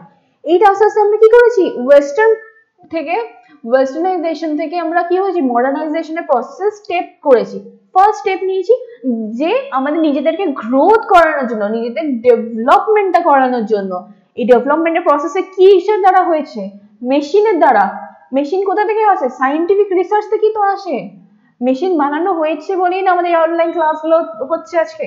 তো এই অনলাইন ক্লাসের দ্বারা কি হচ্ছে? আপনারা যেখানে যেই প্রান্তেই দেশে থাকুন না কেন ক্লাস করতে পারছেন আমাদের। আমি ক্লাস নিতে পারছি যেখানেই থাকি না কেন। আমি আমাদের ইনস্টিটিউট থেকে নিচ্ছি।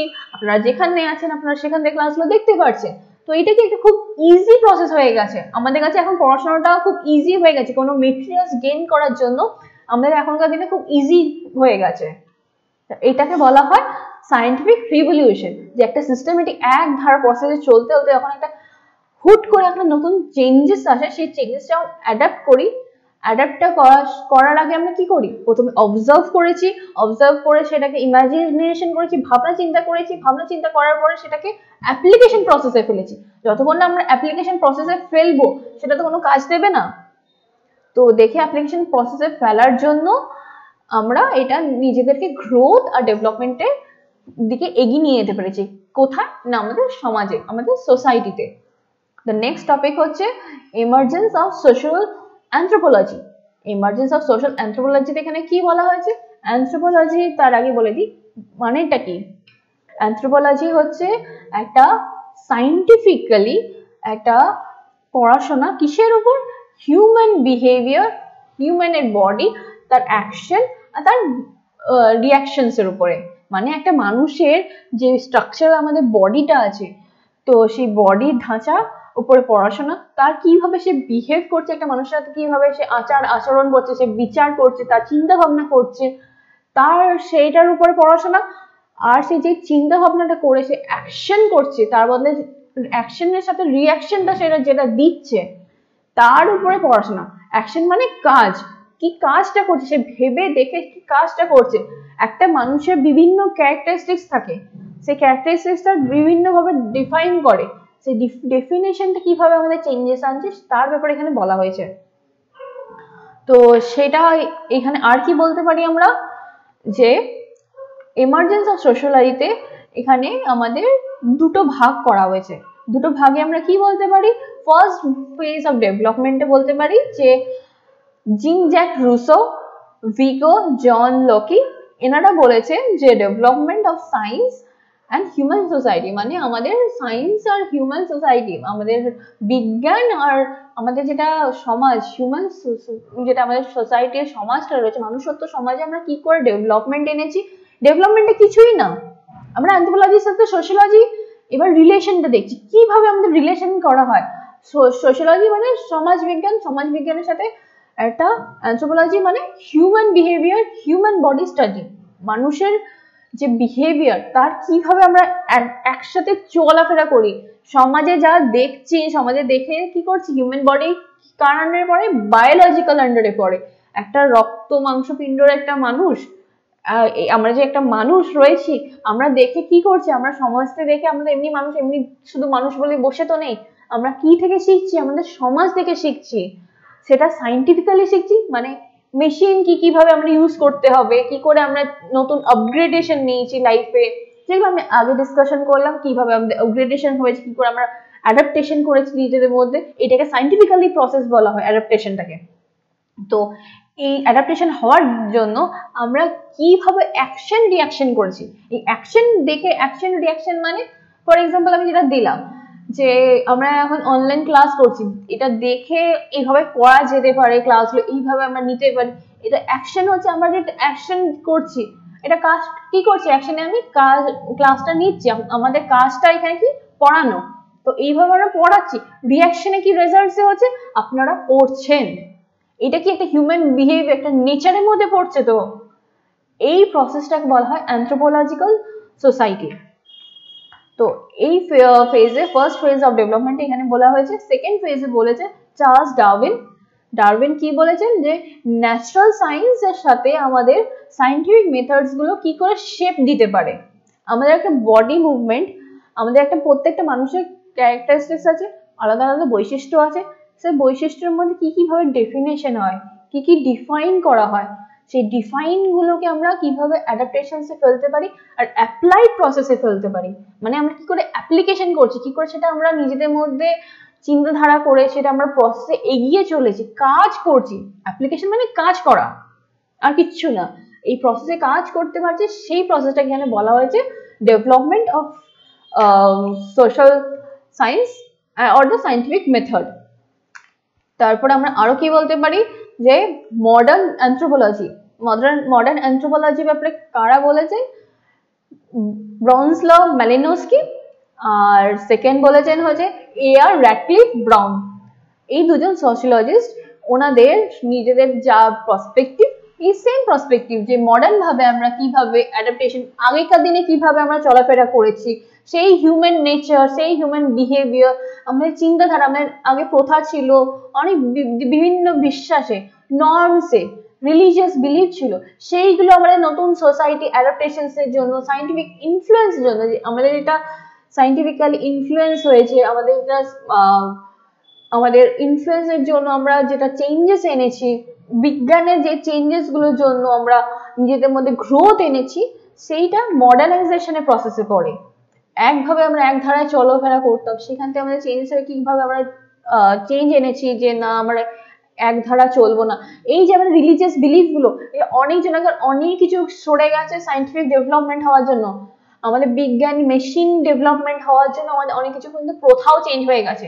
আগে অনেক কিছু জিনিসে বারণ থাকতো, এই করবে না, সেই করবে না। আগে একটা সিম্পল এক্সাম্পল দিচ্ছি। আগের দিনে এটা মানা হচ্ছে মানে আমাদের মানামানি ছিল যে বিড়াল কখনো রাস্তা কেটে গেলে আমরা যাব না বা একটু ওয়েট করে যাব। এটা একটা প্রথা ছিল, অনেক জায়গায় প্রথাটা ছিল। তো এখন আমরা মেশিন ডেভেলপমেন্টের জন্য সাইন্টিফিক ডেভেলপমেন্টের জন্য আধে মানুষ কি জিনিসটা বিশ্বাস করি? মানি না। মানি না, কিন্তু আগে এটা একটা ট্যাবু ভাবে দেখা হতো মানে না ট্যাবু মানে না, এটা করব না, এই চোখে দেখা হতো। যেটা একটা বিশ্বাস ছিল যে হ্যাঁ বিড়াল পাস করে গেলে সেটা যদি আমরা না মেনে যাই তো আমাদের খারাপ হবে, ক্ষতি হবে। কিন্তু আদেও কি এগুলো হয়? এগুলো নয় তো, এগুলো চেঞ্জেস কি করে হয়েছে? আমাদের এটা হিউম্যান স্ট্রাকচারাল বিহেভিয়ার চেঞ্জ বলা হয়। স্ট্রাকচারাল মাইন্ডের যে চেঞ্জ বিহেভিয়ার চিন্তাধারাটা যে চেঞ্জ হয়েছে, এটা সাইন্টিফিক ইনফ্লুয়েন্সের জন্য হয়েছে, এটা মডার্নাইজেশনের জন্য হয়েছে। এই জিনিস, এই প্রসেসটাকে বলা হয় মডার্ন অ্যান্থ্রোপোলজি তারপরে আমরা কি বলতে পারি? নেক্সট টপিক হচ্ছে social the sociology and common sense আমরা সোশ্যোলজি অ্যান্ড কমন সেন্সের মধ্যে আমরা কি বলতে পারি? যে প্রথম এই কমন সেন্সের ব্যাপারে বলেছিল হচ্ছে জিএইচ মিড আর জি কুলি। ওনাদের টপিকের ফার্স্ট ওনারা ডিসকাশন করেছিল মি সিম্বলিক ইন্টারাকশন যেটাকে বলা হয়। মি আর মাইসেলফের উপরে। সিম্বলিক ইন্টারাকশন কি? যে কি অনেকজন অনেক মানুষ থাকে যারা মুখে কথা বলে নিজেদের ভাব প্রকাশ করতে পারে না। তো তারা কিছু সাইন ল্যাঙ্গুয়েজ ইউজ করে কথা বলার জন্য।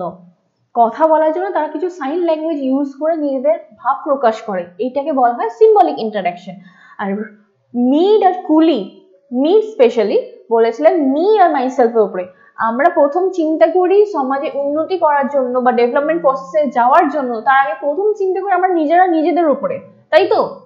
নিজেরা যদি নিজেদের উপরে চিন্তাধারা না করি, তাহলে আমরা কি করব? আমরা নিজেরা নিজেদের মধ্যে লুজ করে যাব। আমরা যদি নিজেদের ডেভেলপমেন্টে নিজেরা ফার্স্ট কারা আসে আমরা মি আসে আই আসে মি থেকে তার আগে আসে আই আমি কে? আমার কাজ কি? আমার এই সমাজের ব্যক্তিগত কি? এই আই জিনিসটা যতক্ষণ না ক্লিয়ার থাকে ততক্ষণ আমরা মিতে পৌঁছাতে পারি না। মিতে যখন আমরা পৌঁছাই মি মিটাকে বলা হয় যে আমরা কীভাবে চিন্তাধারা করছি, আমার আমার কি কি ক্যারেক্টারিস্টিক্স আছে, আমার কি কি বিভিন্ন আমাদের আমার উদ্যান আছে, আমার সোসাইটির জন্য আমি কি কি করতে পারি, এই যে প্রসেসটাকে বলা হয় মি আর মাই সেলফ হচ্ছে যখন আমি অ্যাপ্লিকেশন করছি, আমি আমার দ্বারা এই কাজটা সম্পূর্ণ করলাম, এইটাকে বলা হয় মাই সেলফ মাই সেলফটা কি? না জিএইচ মিডের মিড এই ব্যাপারে বলেছেন। আর তারপর এছাড়া আরও অনেক সোশিয়োলজিস্ট কমন সেন্সের উপরে বলেছেন ম্যাক্স ওয়েবার আর অ্যান্ড্রে বিথেল তো এনারা কমন সেন্স কি? অ্যাকচুয়াল কমন সেন্স বলতে কি বুঝি? আমরা মেয়েরা অনেক সময় ইউজ করি সিক্স সেন্সের কথা যে হ্যাঁ আমার মনে মধ্যে এই সিক্স সেন্সটা হচ্ছে যে এই মানুষটা এরকম হতে পারে। এরকম অনেক কথা বলি। অনেক মেয়ে কেন অনেক ছেলেও বলি আজকালকার দিনে। তো সিক্স সেন্স বা কমন সেন্সটা কি? মাইন্ডে কিছু দেখে প্রথমে আমরা অবজার্ভ করেছি। সেটা দেখে আমাদের মাথায় ইমাজিনেশন করেছি। সেইটাকে ইমাজিনেশন করে এটা আমরা অ্যাপ্লিকেশন প্রসেসের জন্য চিন্তাধারা করছি। প্রসেসে কিন্তু কাজটা করছি না কমন সেন্সে কিন্তু সবসময় অ্যাপ্লিকেশন করি না, চিন্তাধারা করছি, এটা হচ্ছে ফার্স্ট সেকেন্ড হচ্ছে যে ধরো কোনো আমাদের এক্সপিরিয়েন্স কোনো আগেকার কোনো ঘটনা থেকে কিছু, আমাদের এক্সপিরিয়েন্স গেইন হয়েছে, সেই এক্সপিরিয়েন্স গেইনটার জন্য আমরা কি করছি? সেই এক্সপিরিয়েন্সটা গেইনটার জন্য আমরা নিজেদের থট প্রসেসটাকে ওই ওইভাবেই আমরা এক্সপিরিয়েন্সের মধ্যে ক্লাসিফিকেশন করে নিয়েছি যে হ্যাঁ আমাদের এই থেকে তো আমরা এই ঘটনাটা ঘটেছিল, এই থেকে আমরা এই শিখেছি, তাহলে আমরা এখন নেক্সট যখন কাজ করতে আছি, তাহলে আমরা সেই সতর্কতা কি করব? মেনে চলবো। নিজেদের সাবধান হয়ে তারপরে আমরা স্টেপ নেব। স্টেপ নিয়ে যখন অ্যাপ্লিকেশন করছি, সেটাও কিন্তু কমন সেন্সের মধ্যেই পড়ছে। তারপরে আমাদের নেক্সট টপিক হচ্ছে সোশিয়োলজি অ্যাজ সায়েন্স তো সোশিয়োলজি অ্যাজ সায়েন্সের মধ্যে আমরা কি বলতে পারি? সোশিয়োলজি আমরা তো এমনি সমাজবিজ্ঞান এর সাথে আমরা সায়েন্সের কি রিলেশন যে আমরা বলতে পারি যে সাইন্টিফিক ইনফ্লুয়েন্স যখন হয়েছিল, আমাদের যখন মেশিনস ইনভেন্ট হয়েছিল, আমাদের সমাজ যখন সেটাকে অ্যাডাপ্ট করেছিল, সেটা কোনো প্রসেসে হয়েছিল তো সেটাকে বলা হয় সায়েন্টিফিক মেথড বলা হয়। সেটা কিসের দ্বারা সুযোগ মানে সেই প্রসেসটা কি ধারা হয়েছিল সুবিধা? আমাদের রিসার্চের যার ধারা আমাদের যদি রিসার্চ না থাকতো যে তখনকার দিনে কি কি প্রবলেম হয়েছে, এখনও তাই। সাইন্টিফিক মেথড একটা রিসার্চ ছাড়া কখনো সম্ভব নয়। একটা রিসার্চ মেথড না থাকলে আমরা সেটাকে রিসার্চ একটা জিনিস টপিক তুললাম। ধরুন একটা টপিক আমি এক্সাম্পল দিচ্ছি, একটা জায়গা, একটা গ্রাম নিলাম। গ্রামে সেখানে আমি গেলাম অ্যাজ আ সার্ভে করতে সোশিয়োলজিস্ট হয়ে সার্ভে করতে গিয়ে দেখব কি কি ওইখানে মানে ফেসিলিটি নেই কমি আছে ওদের মধ্যে, কি কি প্রবলেম হচ্ছে। এই প্রসেসটাই আমি দেখব যে ওদের মধ্যে কি কি এখনও ফেসিলিটিস পৌঁছায়নি, যেটা আমরা আরবান সেক্টরে থেকে, যেটা আমরা মিউনিসিপ্যালিটি এরিয়াতে থেকে আমরা সুযোগ সুবিধা পাচ্ছি, যেটা পঞ্চায়েত এরিয়াতে থেকে ওরা সুযোগ সুবিধা পাচ্ছে না। তো রিসার্চ করে আমরা খুঁজে পাবো যে হ্যাঁ হয়তো ইলেকট্রিসিটি প্রবলেম আছে আইদার জলের প্রবলেম আছে বা ফুডিং প্রবলেম আছে নাহলে হসপিটালের প্রবলেম আছে।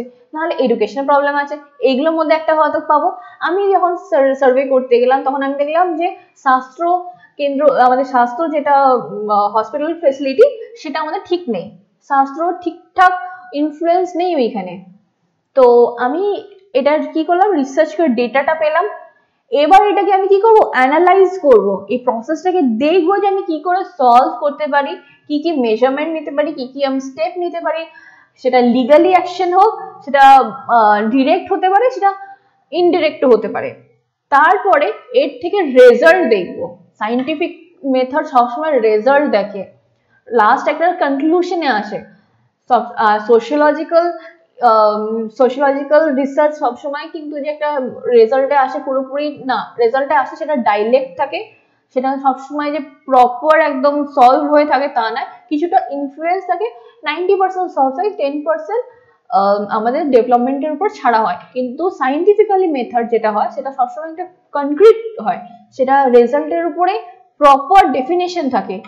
যে হ্যাঁ এই প্রসেসে আমি কাজ করেছিলাম, ওইখানে হসপিটালের ঝামেলা রয়েছে, আমি এই লিগাল স্টেপ নিয়েছি ডিরেক্টলি আর কিছু নিয়েছি ইনডিরেক্টলি তার জন্য এই মেজারমেন্টগুলো ওইখানে সলভ হয়ে গেছে। আমি এই রেজাল্টটা আমি বার পেয়েছি, এটা আমি নোট ডাউন করলাম আমার রিসার্চ পেপারে তো এইভাবে এই একটা প্রসেস হয়, সেটাকে বলা হয় সাইন্টিফিক মেথড তাহলে সোশ্যোলজির সাথে সায়েন্স আমাদের সমাজ বিজ্ঞানের সাথে সায়েন্স কীভাবে রিলেট হচ্ছে? যে আমরা কীভাবে দিন ডেভেলপমেন্ট করছি, আমাদের বিজ্ঞানের দিকে কতটা এগিয়ে চলেছি, কতটা ডেভেলপমেন্ট প্রসেস আমরা অ্যাডাপ্ট করছি। এই অ্যাডাপ্টেশন প্রসেসটাকে কতটা মেনে আমরা নিজেরা নিজেদের মধ্যে আরও গ্রো করার জন্য চিন্তাধারা করছি, সেটা বিভিন্ন প্রসেসে হতে পারে, যে কোনো প্রসেস হতে পারে। আর এইখানে গ্রোথ আর ডেভেলপমেন্টের যে প্রসেসটা এর ব্যাপারে সায়েন্স আর সোশ্যোলজি এটা প্রথম মেনশন করেছিলেন আগস্ট কোথ তার নিজের রিসার্চে আর এইটা মেইন উনি যেটা বলেছিলেন যে এটা আমাদের বেস হয় সায়েন্টিফিক রিসার্চ বা সায়েন্স সোশ্যোলজির সাথে যেটা সায়েন্স আছে বা সমাজ বিজ্ঞানের সাথে এটা বিজ্ঞান আছে এটা সবসময় একটা কিসের উপরে দেখা হয়? না একটা অবজারভেশনের উপর। অবজারভেশন মানে হচ্ছে আমরা কি দেখে শিখছি। তারপরে আসছে যে আমাদের মাইক্রো স্টাডি এক্সপিরিয়েন্স মানে ছোট ছোট আমরা যে জিনিসগুলো রিসার্চ করতে গিয়ে দেখলাম, শিখলাম, আমরা যেটা পেলাম, তথ্যটা পেলাম, সেটা এভিডেন্স মতো কাজ করে আমাদের কাছে। একটা এভিডেন্স স্টাডি করার পর একটা এভিডেন্স পাচ্ছি। তারপরে সেটা কি হচ্ছে? একটা রেজাল্টের দিকে পৌঁছাচ্ছে। রেজাল্ট যখন আমরা পাচ্ছি যে হ্যাঁ ফাইনাল কনক্রিট রেজাল্ট এই স্টাডি করে আমরা অ্যাপ্লিকেশন করেছি, আমরা অ্যানালাইজ করেছি, চিন্তাধারা করে আমরা রেজাল্ট পাচ্ছি সেই রেজাল্ট থেকে আমরা এগিয়ে চলেছি কিসের জন্য? আমরা এক্সপ্লেনেশনের জন্য। এক্সপ্লেনেশনের জন্য আমরা এখন এগিয়ে চলেছি। এক্সপ্লেনেশনে আমরা কি বলছি? আমরা বলতে পারছি যে, এই প্রবলেম ছিল, এইভাবে আমরা সলভ করছি, এইভাবে আমাদের ক্লিয়ার হয়ে গেছে। তো এইটা ছিল sociology as science or social science তারপরে আর কি বলতে পারি আমরা? পজিটিভিস্ট অ্যাপ্রোচ কি আছে আমাদের মধ্যে? যে দুর্খেম বলেছিল যে আগস্ট কোতে যে সাইন্টিফিক্যাল রিসার্চ ওনার যে আইডিওলজিগুলো দুর্খেম এমএলএ দুর্খেম, এগুলো রিজেক্ট করে দিয়েছিল। বলেছিল এই চিন্তাধারাগুলো সমাজের আমরা প্রথমে দেখব না প্রায়োরিটি লিস্টে দেখব না। প্রথমে দেখব মানুষ কীভাবে কি কি সুবিধা পায়নি, তার জন্য কি কি ড্রব্যাক হয়েছে। ড্রব্যাক হওয়ার জন্য মানে কি কি সুবিধা পায়নি, তার জন্য তার জীবনে কি কি ক্ষতি হয়েছে। ক্ষতি হওয়ার জন্য সেই রেজাল্টে সে কি করেছে? রেজাল্টে মাইন্ডে অ্যাপ্লিকেশনের ইমাজিনেশনে সে কতটা পিছিয়ে পড়েছে, কতটা দুর্বল হয়ে পড়েছে, তার জন্য কি কি স্টেপ নিয়েছে। স্টেপ তখনকার দিনে যেটা উনি বলেছিলেন যে ম্যাক্সিমাম মানুষ সুসাইড অ্যাটেম্প করেছিল। সুসাইড অ্যাটেম্পস কেন হয়? সুসাইড যখন মানুষ নিজের ডিপ্রেশন থাকে, নিজের মাইন্ড কন্ট্রোল করতে পারে না ইমোশন কন্ট্রোল করতে পারে না, তখন লাস্ট যখন কোনো অপশন খুঁজে পায় না, তখন সে সুসাইডের চিন্তাধারা করে। যে নিজের জীবনটা শেষ করে নেব, যেটা হচ্ছে কিনা খুব আমার মতে খুব বাজে একটা থট যেটা কখনোই করা উচিত না। সবসময় সব জিনিসের রেজাল্টস থাকে। সবকিছু সবসময় ইমিডিয়েটলি পাওয়া যায় না। কিন্তু শেষ অবধি লড়াই করে গেলে কিছু না কিছু একটা এক্সটেন্ডে পৌঁছানো যায়। সবসময় নিজের জীবনটাই শেষ করে দেওয়া মেন উদ্দেশ্য হয় না জীবনে। সবসময় একটা জীবনে একটা লক্ষ্য থাকা উচিত। হারিয়ে কেউ কখনোই যায় না। তো এইটাই হয়েছে দুর্খেম বলেছিলেন যে নিজের সুসাইড করে নিয়ে তারা জীবন শেষ করে নিতে চাইতেন। নিজেদের সমাজে তাদের যখন দেখতেন যে সুইটেবল নিজেদেরকে মনে করছেন না, নিজেদের অ্যাডাপ্টেশন নিজেদের সমাজে করাতে পারছেন, যখন চেঞ্জেস হচ্ছে সাইন্টিফিক্যাল চেঞ্জ হয়ে গেছে, আমাদের অ্যাডাপ্টেশন চেঞ্জ হয়েছে, আমাদের বিহেভিয়ারাল চেঞ্জ হয়েছে। এই জিনিসগুলো এখন একটা মানুষ নিজেদের মধ্যে অ্যাডাপ্ট করাতে পারছে না, তখন সে সুসাইড করছেন আর এই সুসাইডের ব্যাপারে ফুল ডেফিনেশন ফুল যত ওনার আইডিওলজি দুর্খেমের, উনি একটা বই লিখেছিলেন, যেটা বইটার নাম হচ্ছে লে সুসাইড লে সুসাইড বইটাতে উনি নিজের পুরো পার্সপেক্টিভ ওনার থিওরি উনি যত আছে ডিসক্রাইব করেছেন। তারপরে নেক্সট টপিক হচ্ছে অ্যাপ্লিকেশন আর অ্যাপ্লাইড সোশ্যোলজি অ্যাপ্লাইড সোশ্যোলজি আমি তো বললাম, পুরো প্রসেসটার মধ্যে অ্যাপ্লিকেশন পড়ে যে যতক্ষণ, যখন আমরা একটা মানুষের সাথে কথোপকথন করছি, একটা মানুষের হিউম্যান বিহেভিয়ারাল এক্সচেঞ্জ করছি, নিজেদের মধ্যে কতটাই আমাদের নিজেদের অ্যাডাপ্টেশন করে আমাদের কতটা নিজেদের গ্রোথ আনতে পেরেছি, সেই এক্সচেঞ্জ যে সোশ্যাল লাইফটা সেটা আমরা প্রথমে এমনি এমনি কি হয়ে আছি না, প্রথমে আমরা বুঝি আন্ডারস্ট্যান্ড করি। আন্ডারস্ট্যান্ড করা বোঝার পরে সেটা নিজেদের মধ্যে ইন্টারভেন করি। ইন্টারভেন মানে সেটা চিন্তাধারা করি যে কতটা এগোতে পারব, কতটা আমরা পারব না, কতটা নিজেদের মধ্যে এক্সচেঞ্জ করতে পারব, সব জিনিসপত্র, নিজেদের থটস নিজেদের বিলিভ কতটা পারব না। আর এইটা আমি দেখি যে একটা সমাজে কতটা আমি নিজেকে অ্যাডাপ্ট করতে পারছি, যেটা গ্রোথ হচ্ছে না মডার্নাইজেশন এরা ওয়েস্টার্নাইজেশনের উপরে। তো একটা মানুষ কতটা অ্যাডাপ্ট করাতে পারছে আমাদের যারা ঠাকুমা দাদুরা আছে আমার মতো কি এখন এতটা অ্যাডাপ্টেশনে এগোতে পেরেছে? তাদের চিন্তা থটস যেগুলো আছে নম তাদের বিলিভ বিশ্বাস আছে সেগুলোকে পুরোপুরি ছাড়তে পেরেছে? পারেনি। তাদের থেকে একটু আপগ্রেড করা আমাদের বাবা মায়েরা। আমাদের বাবা মায়েরা কি করেছে? অনেকটা এইসব আগেকার দিনে চিন্তাধারা থেকে অনেক কিছুটা বেরিয়ে পেরেছে, কিছুটা পারেনি। তারা কোথায় আছে? মিডল স্টেজে আছে। আর আমরা কারা? আমরা দিন চেঞ্জ হচ্ছে, আমরা সেটাকে অ্যাডাপ্ট করছি, আমরা ডাইভার্স পজিশনে আছি মানে আমরা চেঞ্জ পজিশনে আছি। যতটা যতটা চেঞ্জ হচ্ছে, আমরা সেটাকে নিজেদের মধ্যে অ্যাডাপ্ট করছি। সেটা ঠিক না ভুল, সেটা আমাদের নিজেদের মধ্যে কি করছি? দেখতে পাচ্ছি, বুঝতে পারছি। তো এটাকে এখানে বলা হচ্ছে? অ্যাপ্লাইড সোশ্যোলজি তারপর আরও বলতে পারি যে, আমাদের থিওরিসের দ্বারা, যত থিওরি আছে, সেই তার দ্বারা আমরা অ্যাপ্লাই অ্যাপ্লাইড সোশ্যোলজিকে আমরা দেখতে পাই। কনসেপ্ট থাকে, আমাদের নিজেদের মধ্যে নিজেদের থট কনসেপ্ট থাকে, তারপর পার্সপেক্টিভ থাকে যে হ্যাঁ আমাদের এই এই মেথডে আমরা পড়াশোনা করব, এই মেথডে আমরা শিখব। পড়াশোনা কি শুধু টিচিং মেথড কি শুধু পড়াশোনা দিয়ে শেখা হয়? না, আমরা দিনুন দিন শিখছি আইদার বুক থিওরি থেকে বই দিক থেকে পার্সপেক্টিভ মানে আমরা যেটা অবজার্ভ করছি অবজার্ভ করে শিখছি বা এক্সপিরিয়েন্স হচ্ছে, সেইটা থেকে শিখছি। এগুলো তো একটা টিচিং মেথড এগুলো কোথা থেকে আসছে? আমাদের সোসাইটি থেকেই তো আসছে। তারপরে আমাদের নেক্সট পয়েন্ট হতে পারে যে সোশিওলজিক্যাল প্র্যাকটিস আর না হলে প্র্যাকটিশনার বলতে পারি আমরা, যেটা হচ্ছে ক্লিনিক্যাল অ্যাপ্লিকেশন বা পাবলিক সোশিওলজিস্ট থেকে রেফারেন্স পাচ্ছে। মানে ধরুন আমাদের সোশিওলজিক্যাল বিহেভিয়ার আমাদের সমাজের সাথে একটা মানুষের হিউম্যান বডি যেটা নেচার আছে নেচারটা, একটা মানুষের ক্যারেক্টারিস্টিক্স আছে, তার বৈশিষ্ট্য আছে, বৈশিষ্ট্যটা কীভাবে তারা গ্রোথ করাচ্ছে, তারা চেঞ্জেস আনছে, সেই চেঞ্জেস গুলোকে আমরা কি করছি? আমরা সেটা বোঝাচ্ছি যে আমাদের মধ্যে কতটা অ্যাডাপ্ট করতে পারছি, না পারছি, আমাদের এটা টেকনোলজিক্যাল গ্রোথ হয়েছে, সেই গ্রোথটা আমাদের কতটা ডেভেলপ করতে পারছি। এটাকে বলা হয় ক্লিনিক্যাল অ্যাপ্লিকেশন আর পাবলিক সোশিয়োলজিস্ট মানে আমাদের আইডিওলজি যেগুলো চিন্তাধারা সেগুলো কতটা আমরা নিজেদেরকে এগোনোর জন্য, সেটা ডেভেলপমেন্টের প্রসেসের জন্য আমরা কতটা নিজেদেরকে উদ্যান করতে পারছি, নিজেদেরকে কতটা স্টেপ নিতে পারছি।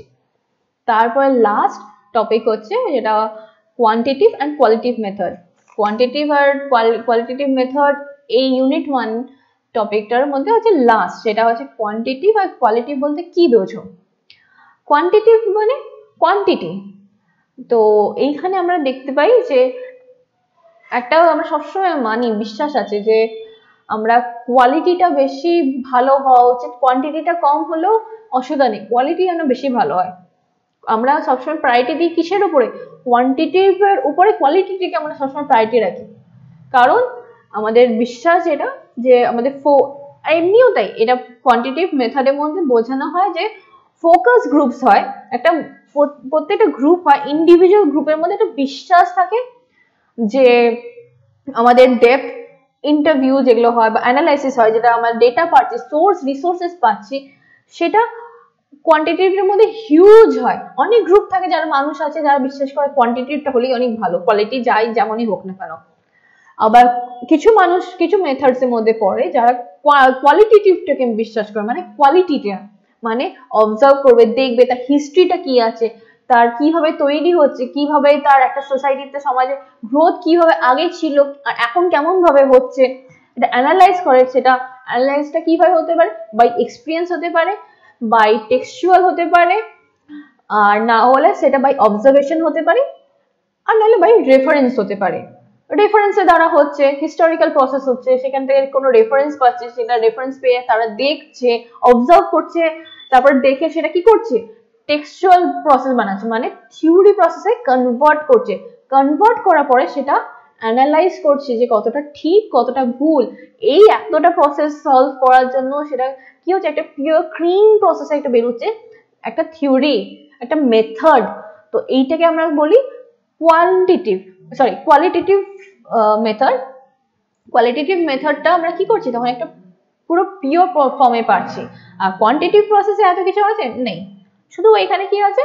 যে অনেকগুলো গ্রুপ নিজেদের সোর্স আর রিসোর্সের উপরে ডেটার শুধু নোটিস করে, শুধু অবজার্ভ ওইটুকুই রাখে। তো এই ছিল হচ্ছে ইউনিট ওয়ান আর ইউনিট টু আমাদের কি আছে তাহলে? ইউনিট টুতে আছে হচ্ছে CCSO zero one paper unit টুতে intellectual and social forces in the development of sociology তো এটার মধ্যে কি বলা হয়েছে? প্রথম টপিক হচ্ছে the intellectual revolution intellectual revolution বলতে এখানে কি বোঝানো হয়? এটা নতুন ফর্ম একটা এক্সপিরিয়েন্স কিসের এক্সপেরিমেন্ট এক্সপিরিয়েন্স আর তার সাথে থাকছে এক্সপেরিমেন্ট এক্সপেরিমেন্ট মানে দিন আমরা যেগুলো দেখছি, সেটা একটা ফরম্যাট থাকছে। আমাদের নিজেদের রেভলিউশন যেগুলো হচ্ছে সাইন্টিফিক রেভলিউশন তারপর ইন্ডাস্ট্রিয়াল রেভলিউশন এগুলোর মধ্যে একটা তো কোনো ফরম্যাট আছে। এই ফরম্যাটগুলো কিসের দ্বারা হচ্ছে? কমার্শিয়াল হচ্ছে পলিটিক্যাল পলিটিক্যাল মানে রুলস রেগুলেশন লস থাকছে। ইকোনমিক্যাল ইকোনমিক্যাল কীরকম হচ্ছে? যে আমাদের মানি ওরিয়েন্টেড আমাদের টাকাটা কীভাবে আমরা ইনকাম করছি, আর এটা সমাজের সোসাইটি থেকে কোথা থেকে ইনকাম করছি, আর কীভাবে সেটা কাজে লাগাচ্ছি সেটা কি আদৌ আমাদের গ্রোথ প্রসেসে হেল্প করছে, না আমরা কি কোন দিকে এগোচ্ছি? এটা দেখছে। আর এটা দেখছে হচ্ছে রিলিজিয়াস আর্টস মিউজিক ক্রাফট এই জিনিসগুলো আমরা কতটা নিজেদের মধ্যে আনতে পারছি, নতুন প্রসেসে আনতে পারছি। রিলিজিয়াস আর্টস মানে হচ্ছে আমাদের আগেকার দিনে একরকম বিশ্বাস ছিল বিলিভ ছিল যে আমাদের আমাদের এটা রিলিজিয়ন আমাদের প্রত্যেকটা আলাদা আলাদা ধর্ম, সেই রিলিজিয়ন ধর্মর উপরে আমাদের সবার কাছে যত সবার আলাদা আলাদা ধর্ম, সবার আলাদা আলাদা প্রত্যেকটা ধর্ম, বিশ্বাস আছে বিলিভ আছে রুল আছে রেগুলেশন আছে, সেইগুলোকে কি করছি আস্তে আস্তে একটা ফর্ম আর্টে ফেলছি যে না, আগে এরকম আমরা ছিলাম একটা গ্রুপ প্রসেসে ছিলাম। আস্তে আস্তে আমরা এখন সোসাইটি ডেভেলপ হয়েছে, আমরা একসাথে হয়েছি। মুসলিম কমিউনিটির অনেক ডিফারেন্সেস আছে, অনেক রুল আছে রেগুলেশন আছে নর্ম আছে, বিশ্বাস আছে বিলিফ আছে। আমাদের হিন্দু কমিউনিটি কোনো রুল আছে, কোনো বিশ্বাস আছে, কোনো প্রথা আছে, সেইগুলো এখন একসাথে আমরা মিলছি। একটা সোসাইটিতে কি সব প্রজাতির জাতির মানুষ একসাথে থাকে। তো একসাথে এখন আমরা থাকছি। সে একসাথে থাকার জন্য সব আমাদের মেথড চেঞ্জ হচ্ছে আর এক্সচেঞ্জ হচ্ছে। আমাদের নিজেদের মধ্যে কি হচ্ছে আইডিওলজি গুলো চেঞ্জ করছি এক্সচেঞ্জ করছি। কিছু জিনিস নতুন শিখছি, কিছু জিনিস নতুন পুরোনো জিনিস ছেড়ে দিচ্ছি। এইটাকে রিলিজিয়াস আর্ট বলে। এইটা আস্তে আস্তে আমাদের স্লো ভাবে হয়। হুট করে হয়ে যায় না? এটা স্লো ভাবে আস্তে আস্তে চেঞ্জ হচ্ছে এমার্জ হচ্ছে ইনক্রিজ হচ্ছে। আর এর ব্যাপারে আমাদের ইন্টেলেকচুয়াল রিভলিউশনের ব্যাপারে কে কথা বলেছিল? এই প্রসেসটার ব্যাপারে ফ্রান্সিস বেকন বলেছিলেন যে, আমাদের যে নেচারটা আছে, আমাদের ইউনিভার্সে যে নেচার সেটা সবসময় কীভাবে দেখা উচিত? যে, একটা অবজারভেশনের মধ্যে পড়া উচিত, একটা টেক্সট টেক্সট যেটা আমাদের রয়েছে, সেটা সবসময় সেপটিজমে ফেলা উচিত। আর তারপরে আর কি দেখব? তারপরে নেক্সট হচ্ছে এনলাইটমেন্ট আমাদের এনলাইটমেন্টটার ব্যাপারে কি বলা হয়েছিল? কে বলেছিল? বলেছিল এটার ব্যাপারে জিন জ্যাক রুসো, চার্লস মন্টেস্কিউ। এর ব্যাপারে বলেছিল যে এইটা হচ্ছে এনলাইটমেন্টটা হচ্ছে সব থেকে হিউজ একটা প্রসেস এনলাইটমেন্টটা হচ্ছে একটা সব থেকে বড় প্রসেস যখন আমাদের সোসাইটিতে চেঞ্জেস আছে এনলাইটমেন্ট মানে একটা চেঞ্জ হচ্ছে, একটা ধারা থেকে একটা ধারায় চেঞ্জ হচ্ছে, আমাদের গ্রোথ হচ্ছে। কতটা গ্রোথ হয়েছিল? এই এনলাইটমেন্ট হওয়ার জন্য আমাদের ইভলিউশনস হয়েছিল। যেটা আমি বললাম রিভলিউশনের পার্টটা রিভলিউশন হওয়ার আগে কি হবে? রিভলিউশন যখন হয়েছিল রিভলিউশনের আগে ইভলিউশনের জন্য চিন্তাধারা হয়েছিল। আর রিভলিউশন হওয়ার জন্য রেভলিউশনের জন্য আমাদের ইভলিউশন হয়েছিল। চেঞ্জেস এসেছিল যেটা আমরা মানুষ এখনকার দিনে আমরা বসবাস করছি, নতুন নতুন শিখছি। এর ব্যাপারে বলেছিল যে কতটা আমরা ডিরেক্ট হয়েছে, কতটা ইনডিরেক্ট হয়েছে। এর ব্যাপারে বলা হয়েছিল। আর কি এখানে নেক্সট টপিক আছে? পলিটিক্যাল রিভলিউশন পলিটিক্যাল রিভলিউশনের সব থেকে বেস্ট এক্সাম্পল হচ্ছে ফ্রেঞ্চ রিভলিউশন ফ্রেঞ্চ রিভলিউশন যদি না হতো, আমাদের কোনো ইন্ডাস্ট্রিয়াল ভাগ বা আমাদের ইন্ডাস্ট্রিয়াল প্রসপেক্ট কোনো আসতো না। কোনো আমাদের ইন্ডাস্ট্রি সেট হতো না। তার ইন্ডাস্ট্রি সেট না, চিন্তাধারা না থাকলে সাইন্টিফিক্যালি কোনো রিভলিউশন হতো না। প্রত্যেকটা একটার সাথে একটা ইন্টারলিঙ্ক তো আমি এখান থেকে এটা বলতে পারি যে সোশিয়োলজি বা আমাদের সমাজ বিজ্ঞান একটা টপিকের সাথে আরেকটা টপিক ইন্টারলিঙ্ক আছে। একটা টপিকের সাথে আরেকটা টপিক পুরো মাইনিউট ডিফারেন্স আছে। সোশিওলজি মানেটাই তাই। আমাদের সমাজবিজ্ঞান খুব মাইনিউট ডিফারেন্স দিয়ে ডিফারেন্ট করা হয়, আলাদা করা, ভিন্ন করায়। কিন্তু রিলেশন একটার সাথে আরেকটা মানে খুব মাইনিউট জিনিস দিয়ে রিলেট করা আছে। একটার সাথে একটা কিন্তু ইন্টারলিঙ্ক শুনে মনে হবে দুটোই যেন এক। কিন্তু তা নয়, দুটোর মধ্যে হিউজ ডিফারেন্স থাকে। কিন্তু মাইনিউট মাইনিউট ডিফারেন্স দিয়ে সেগুলো এক্সচেঞ্জ করা হয়, সেগুলো থট প্রসেস দিয়ে চেঞ্জ হয়। সেগুলো থিওরি দিয়ে আইদার হতে পারে, সেগুলো নাহলে প্র্যাকটিক্যাল রিসার্চ বা রিসার্চের দ্বারা আসতে পারে। তো তারপরে নেক্সট আমরা কি বলতে পারি? পলিটিক্যাল রিভলিউশন হয়েছিল যখন, তখন আমরা ইনফ্লুয়েন্সটা দেখতে পেয়েছি ফ্রেঞ্চ রিভলিউশন থেকে। আস্তে আস্তে ইন্ডাস্ট্রি সেট আপ হয় কি? আগে রাজার রাজত্ব ছিল। সেই থেকে সরে যায়।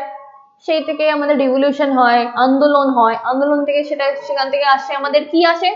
সেখান থেকে আমাদের ইন্ডাস্ট্রিয়াল সেট আপ আছে ইন্ডাস্ট্রিয়াল সেট থেকে আমরা দেখি আস্তে আস্তে সাইন্টিফিক রিসার্চ সাইন্টিফিক গ্রোথ হয়। সেখান থেকে আস্তে আস্তে আমরা দেখতে পাই আমাদের পলিটিক্যাল ইনফ্লুয়েন্স বাড়তে থাকে আস্তে আস্তে। সেখান থেকে আমাদের কনস্টিটিউশনাল ডেভেলপমেন্ট হয়।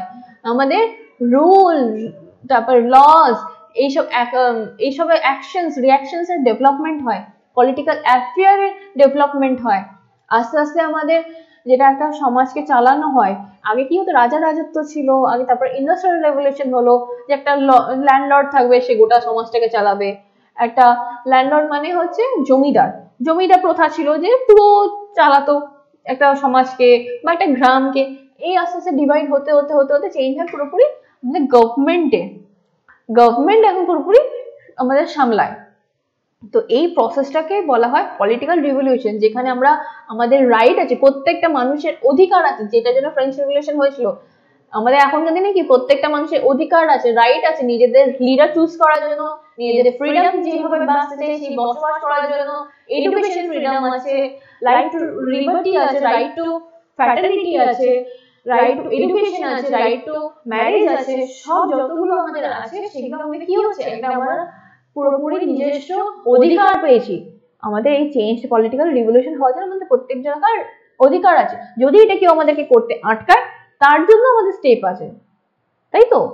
এই প্রসেসটাকে বলা হয় পলিটিক্যাল রিভলিউশন তারপরে চেঞ্জ হয় ইন্ডাস্ট্রিয়াল রিভলিউশন আর রাইজ অফ ক্যাপিটালিজম এই ইন্ডাস্ট্রিয়াল রিভলিউশনটাতে আমি বললাম, যেটা বেস্ট এক্সাম্পল আমাদের ফ্রেঞ্চ রিভলিউশনের পরে এর এক্সাম্পল আমি বলতে পারি যে কে এরা প্রথম জিনিসটার মধ্যে উদ্যান জানিয়েছিল, নিজেদের থিওরিজ জানিয়েছিল? কালমাস ম্যাক্স ওয়েবো তারপরে হচ্ছে এমএলএ দুর্খে তারপরে হচ্ছে জর্জ জিমল এর মধ্যে কি বলতে, ওনারা কি বলেছেন? খুব শর্টে বলেছেন জিনিসটা যে আমাদের আগে কি ছিল? এগ্রিকালচারের উপর আমরা সবসময় মানে ভরসা করে থাকতাম। চাষবাসের উপরে মানুষরা সবসময় ভরসা করে থাকতো যে কখন চাষবাস ঠিক হবে, তখন সেইখান থেকে আমরা পয়সা আর্ন করব? এইভাবে আস্তে আস্তে সেটা চেঞ্জ হয়, কি হবে? ইন্ডাস্ট্রিয়াল সিস্টেমে আগে মানুষ নিজেরা হাতে নাগরকে মানে চাষ করার জন্য নাগর কাটতো, নিজেদের ধান কাটতো, হাতে করে সব হতো। এখন কি হয়? এখন মানুষ নিজেরা হাতে হাতে সবকিছু চাষবাস করে এখন সব মেশিনের দ্বারা হয়। এটা কিসের জন্য সেটা হচ্ছে ইন্ডাস্ট্রিয়ালের জন্য হয়েছে। মেশিন কিসের জন্য এসেছে? সাইন্টিফিকের জন্য এসেছে। একটার সাথে একটা টপিক তাহলে লিঙ্ক হচ্ছে? সমাজ বিজ্ঞানে একটার সাথে একটা টপিক তাহলে এইভাবেই আমরা লিঙ্ক দেখতে পাচ্ছি? তাহলে ইন্ডাস্ট্রিয়াল সিস্টেম যেটা আমাদের আছে, সেটা গ্রো করে। কীভাবে? যে ওনারা বলেছেন যে আগে মানুষ বসবাস করতো কিসের উপর ভরসা করে? এগ্রিকালচারের উপরে।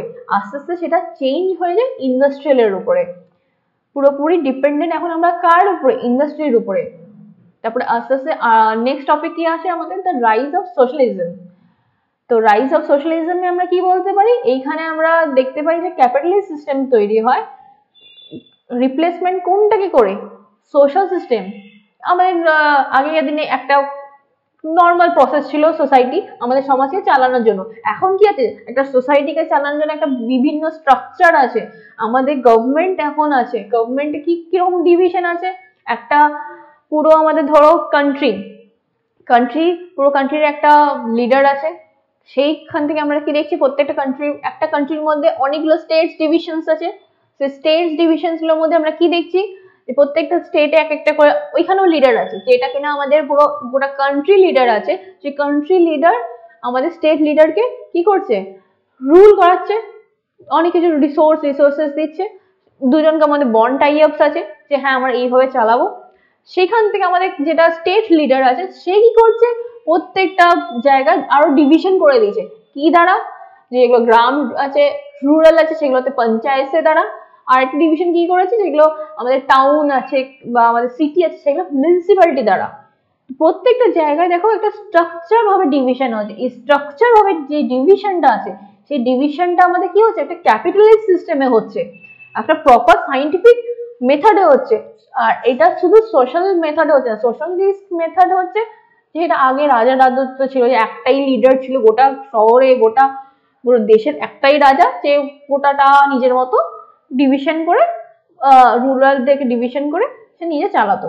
কিন্তু সেটা এতটা পুরো স্ট্রাকচারাল ছিল না, যেটা ক্যাপিটালিস্ট ছিল না। তারপরে নেক্সট টপিক হচ্ছে আরবানাইজেশন আরবানাইজেশন মানে হচ্ছে একটা জায়গায় যখন ডেভেলপমেন্ট হয়, যেটা ইন্ডাস্ট্রিয়াল ডেভেলপমেন্ট বললাম, যখন একটা জায়গায় নতুন ইন্ডাস্ট্রি হচ্ছে, সেখানে কি হচ্ছে জায়গাটা থেকে তাহলে গ্রোথ হচ্ছে। সেই জায়গাটা টাউন ধরো, একটা টাউন বা সিটি তে সবাই গ্রাম থেকে কি হচ্ছে? মুভমেন্ট হচ্ছে। কেন? আরবান সেটিং এর দিকে কেন মুভ করছে রুরাল মানুষরা, গ্রামের মানুষরা? বেটার ফেসিলিটিস পাওয়ার জন্য। কিসের বেসের কিসের জন্য? না এডুকেশন ভালো এডুকেশন প্রথমটা আছে ভালো ফুড খাওয়া দাওয়া যাতে ভালো হয়, তারপর ভালো লাইফস্টাইল যাতে ভালো হয়, তারপর ভালো শেল্টার থাকার জন্য ভালো ঘর বসতি হয় নিজেদের গ্রোথ ডেভেলপমেন্ট এগুলো হচ্ছে প্রাইমারি তারপর সেকেন্ডারির মধ্যে তারপরে পড়ছে, যেটা এখন আর সেকেন্ডারি যদিও নেই যেটা হচ্ছে আমাদের হেলথ যেটা হচ্ছে আমাদের এডুকেশন পড়াশোনা এইগুলো কি হচ্ছে আমাদের না, আমরা এইখানে থেকে আমরা আরও ভালো করে সুযোগ সুবিধা পাচ্ছি, আমাদের নিজেদের মধ্যে আরও বেশি সুযোগ সুবিধা পাচ্ছি যে কি, কীভাবে আমাদের অসুখ বিসুখ হলে বেটার মেডিকেল ফেসিলিটিস আছে, ভালো স্কুলস আছে, ভালো প্রসেস আছে প্রত্যেকটা স্কুল থেকে আমরা ভালো এডুকেশন পাচ্ছি লিটারেসি রেট বাড়ছে। বাচ্চারা আজকালকার দিনে অনেক মডার্নাইজ হচ্ছে। তো এই প্রসেসগুলো ভালো পাওয়ার জন্য বেটার সুযোগ সুবিধা পাওয়ার জন্য মানে রুরাল থেকে কি হচ্ছে? টাউন মানে আরবানের দিকে মুভমেন্ট হচ্ছে। এইটাকে বলা হয় মাইগ্রেশন মাইগ্রেশন করছে। মাইগ্রেটটাকে এই পুরো মাইগ্রেশন এই প্রসেসটাকে বলা হয় আরবানাইজেশন এর ব্যাপারে কে বলেছে? ম্যাক্স ওয়েবার আচ্ছা জর্জ জিমেল। নেক্সট টপিক হচ্ছে আমাদের রিলিজিয়াস চেঞ্জেস এর ব্যাপারে কোদ বলেছে যে আমাদের কি করে সমাজের মধ্যে কি, কীভাবে রিলিজিয়াস চেঞ্জেস এসছে প্রত্যেকটা গ্রুপ আছে, আলাদা আলাদা গ্রুপে আলাদা আলাদা নর্মস আছে, আলাদা আলাদা বিলিফ আছে, এই আলাদা আলাদা গ্রুপে বিলিফ প্রথা নর্মস এইগুলো নিজেদের মধ্যেই আগে কি হতো? নিজেদের মধ্যে বিশ্বাস করা হতো, নিজেদের মধ্যে চালানো হতো, নিজেদের রুলস রেগুলেশন নিজেরাই চালো, চালিত করতো। তারপরে কি চেঞ্জ দেখি? যে একটা সোসাইটির মধ্যে তো অনেক মানুষ একসাথে থাকছে। তো তারা প্রত্যেকটা এখন ফেস্টিভ্যাল হচ্ছে এই গ্রুপের মানুষ এই গ্রুপে এসে তারা নিজেদের পার্ট নিচ্ছে। গ্রুপ বির মানুষ, কি করছে গ্রুপ এর মধ্যে পার্ট নিচ্ছে। দুটো গ্রুপ যখন দুটোর মধ্যে পার্ট নিচ্ছে, নিজেদের আইডিওলজি এক্সচেঞ্জ করছে, চিন্তাধারা এক্সচেঞ্জ করছে, নিজেদের বিশ্বাস চেঞ্জ করছে, তখন ওই থেকে কি শিখছে? নতুন নতুন নতুন তারা অবজার্ভ করছে অবজার্ভ করে নতুন নতুন জিনিস শিখছে। কিছু জিনিসকে তারা এক্স মানে এক্সচেঞ্জ করছে, কিছু জিনিসকে তারা ছেড়ে দিচ্ছে। আর এইগুলো কোথা থেকে হচ্ছে? না এক্সপিরিয়েন্সের জন্য হচ্ছে। এই যে ট্রান্সফরমেশন যে প্রসেসটা এর ব্যাপারে আগস্ট কোন বলেছে তার নিজের থিওরিতে লাস্ট টপিক হচ্ছে আমাদের কি? ইউনিট টু এ।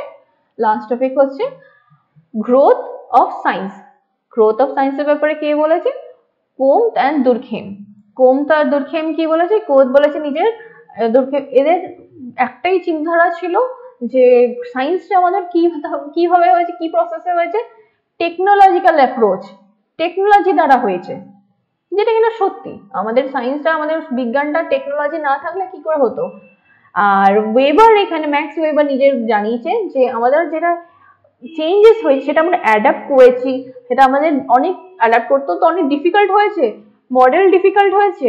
সেই ডিফিকাল্টিগুলো যেগুলো আমাদের প্রবলেমগুলো হয়েছে, সেই ওগুলোকে ছাড়িয়ে আমাদের বিশ্বাস যেগুলো ডিফিকাল্টের সময়, ওগুলোকে ছাড়িয়ে আমরা আগে এগিয়ে গেছি, সেটাকে অ্যাডাপ্ট করতে আমাদের টাইম লাগলেও আমরা সেটা মেনে নিয়েছি সেটা আনওয়াইজ ভাবে মানে সেটা যে প্রসেস হয়েছে সেই প্রসেসটাকে ডিরেক্ট হোক আর ইনডিরেক্ট হোক, সেই প্রসেস আমরা মেনে নিচ্ছি সেটাকে অ্যাডাপ্টেশনটাকে এই এর ব্যাপারে ওয়েবার বলেছেন যে টেকনোলজিক্যাল যেটা আমাদের অ্যাপ্রোচ ছিল, সেই অ্যাপ্রোচটা আমরা কি ধারা বলতে পারি? সেই অ্যাপ্রোচটা এখানে আমরা কি ধারা বলতে পারি? যে না, আমরা সেই টেকনোলজিক্যাল অ্যাপ্রোচটা বলতে পারি যে আমাদের কতটা এক্সচেঞ্জ হয়েছে, নতুন মেশিনারিজের দিক থেকে, কতটা আমাদের চেঞ্জেস হয়েছে, নতুন মেশিনারি বানাতে হেল্প করতে। তো এর ব্যাপারে আমাদের এখানে বলেছে কে? না, আগস্ট ফোর্থ আর দুর্খেম।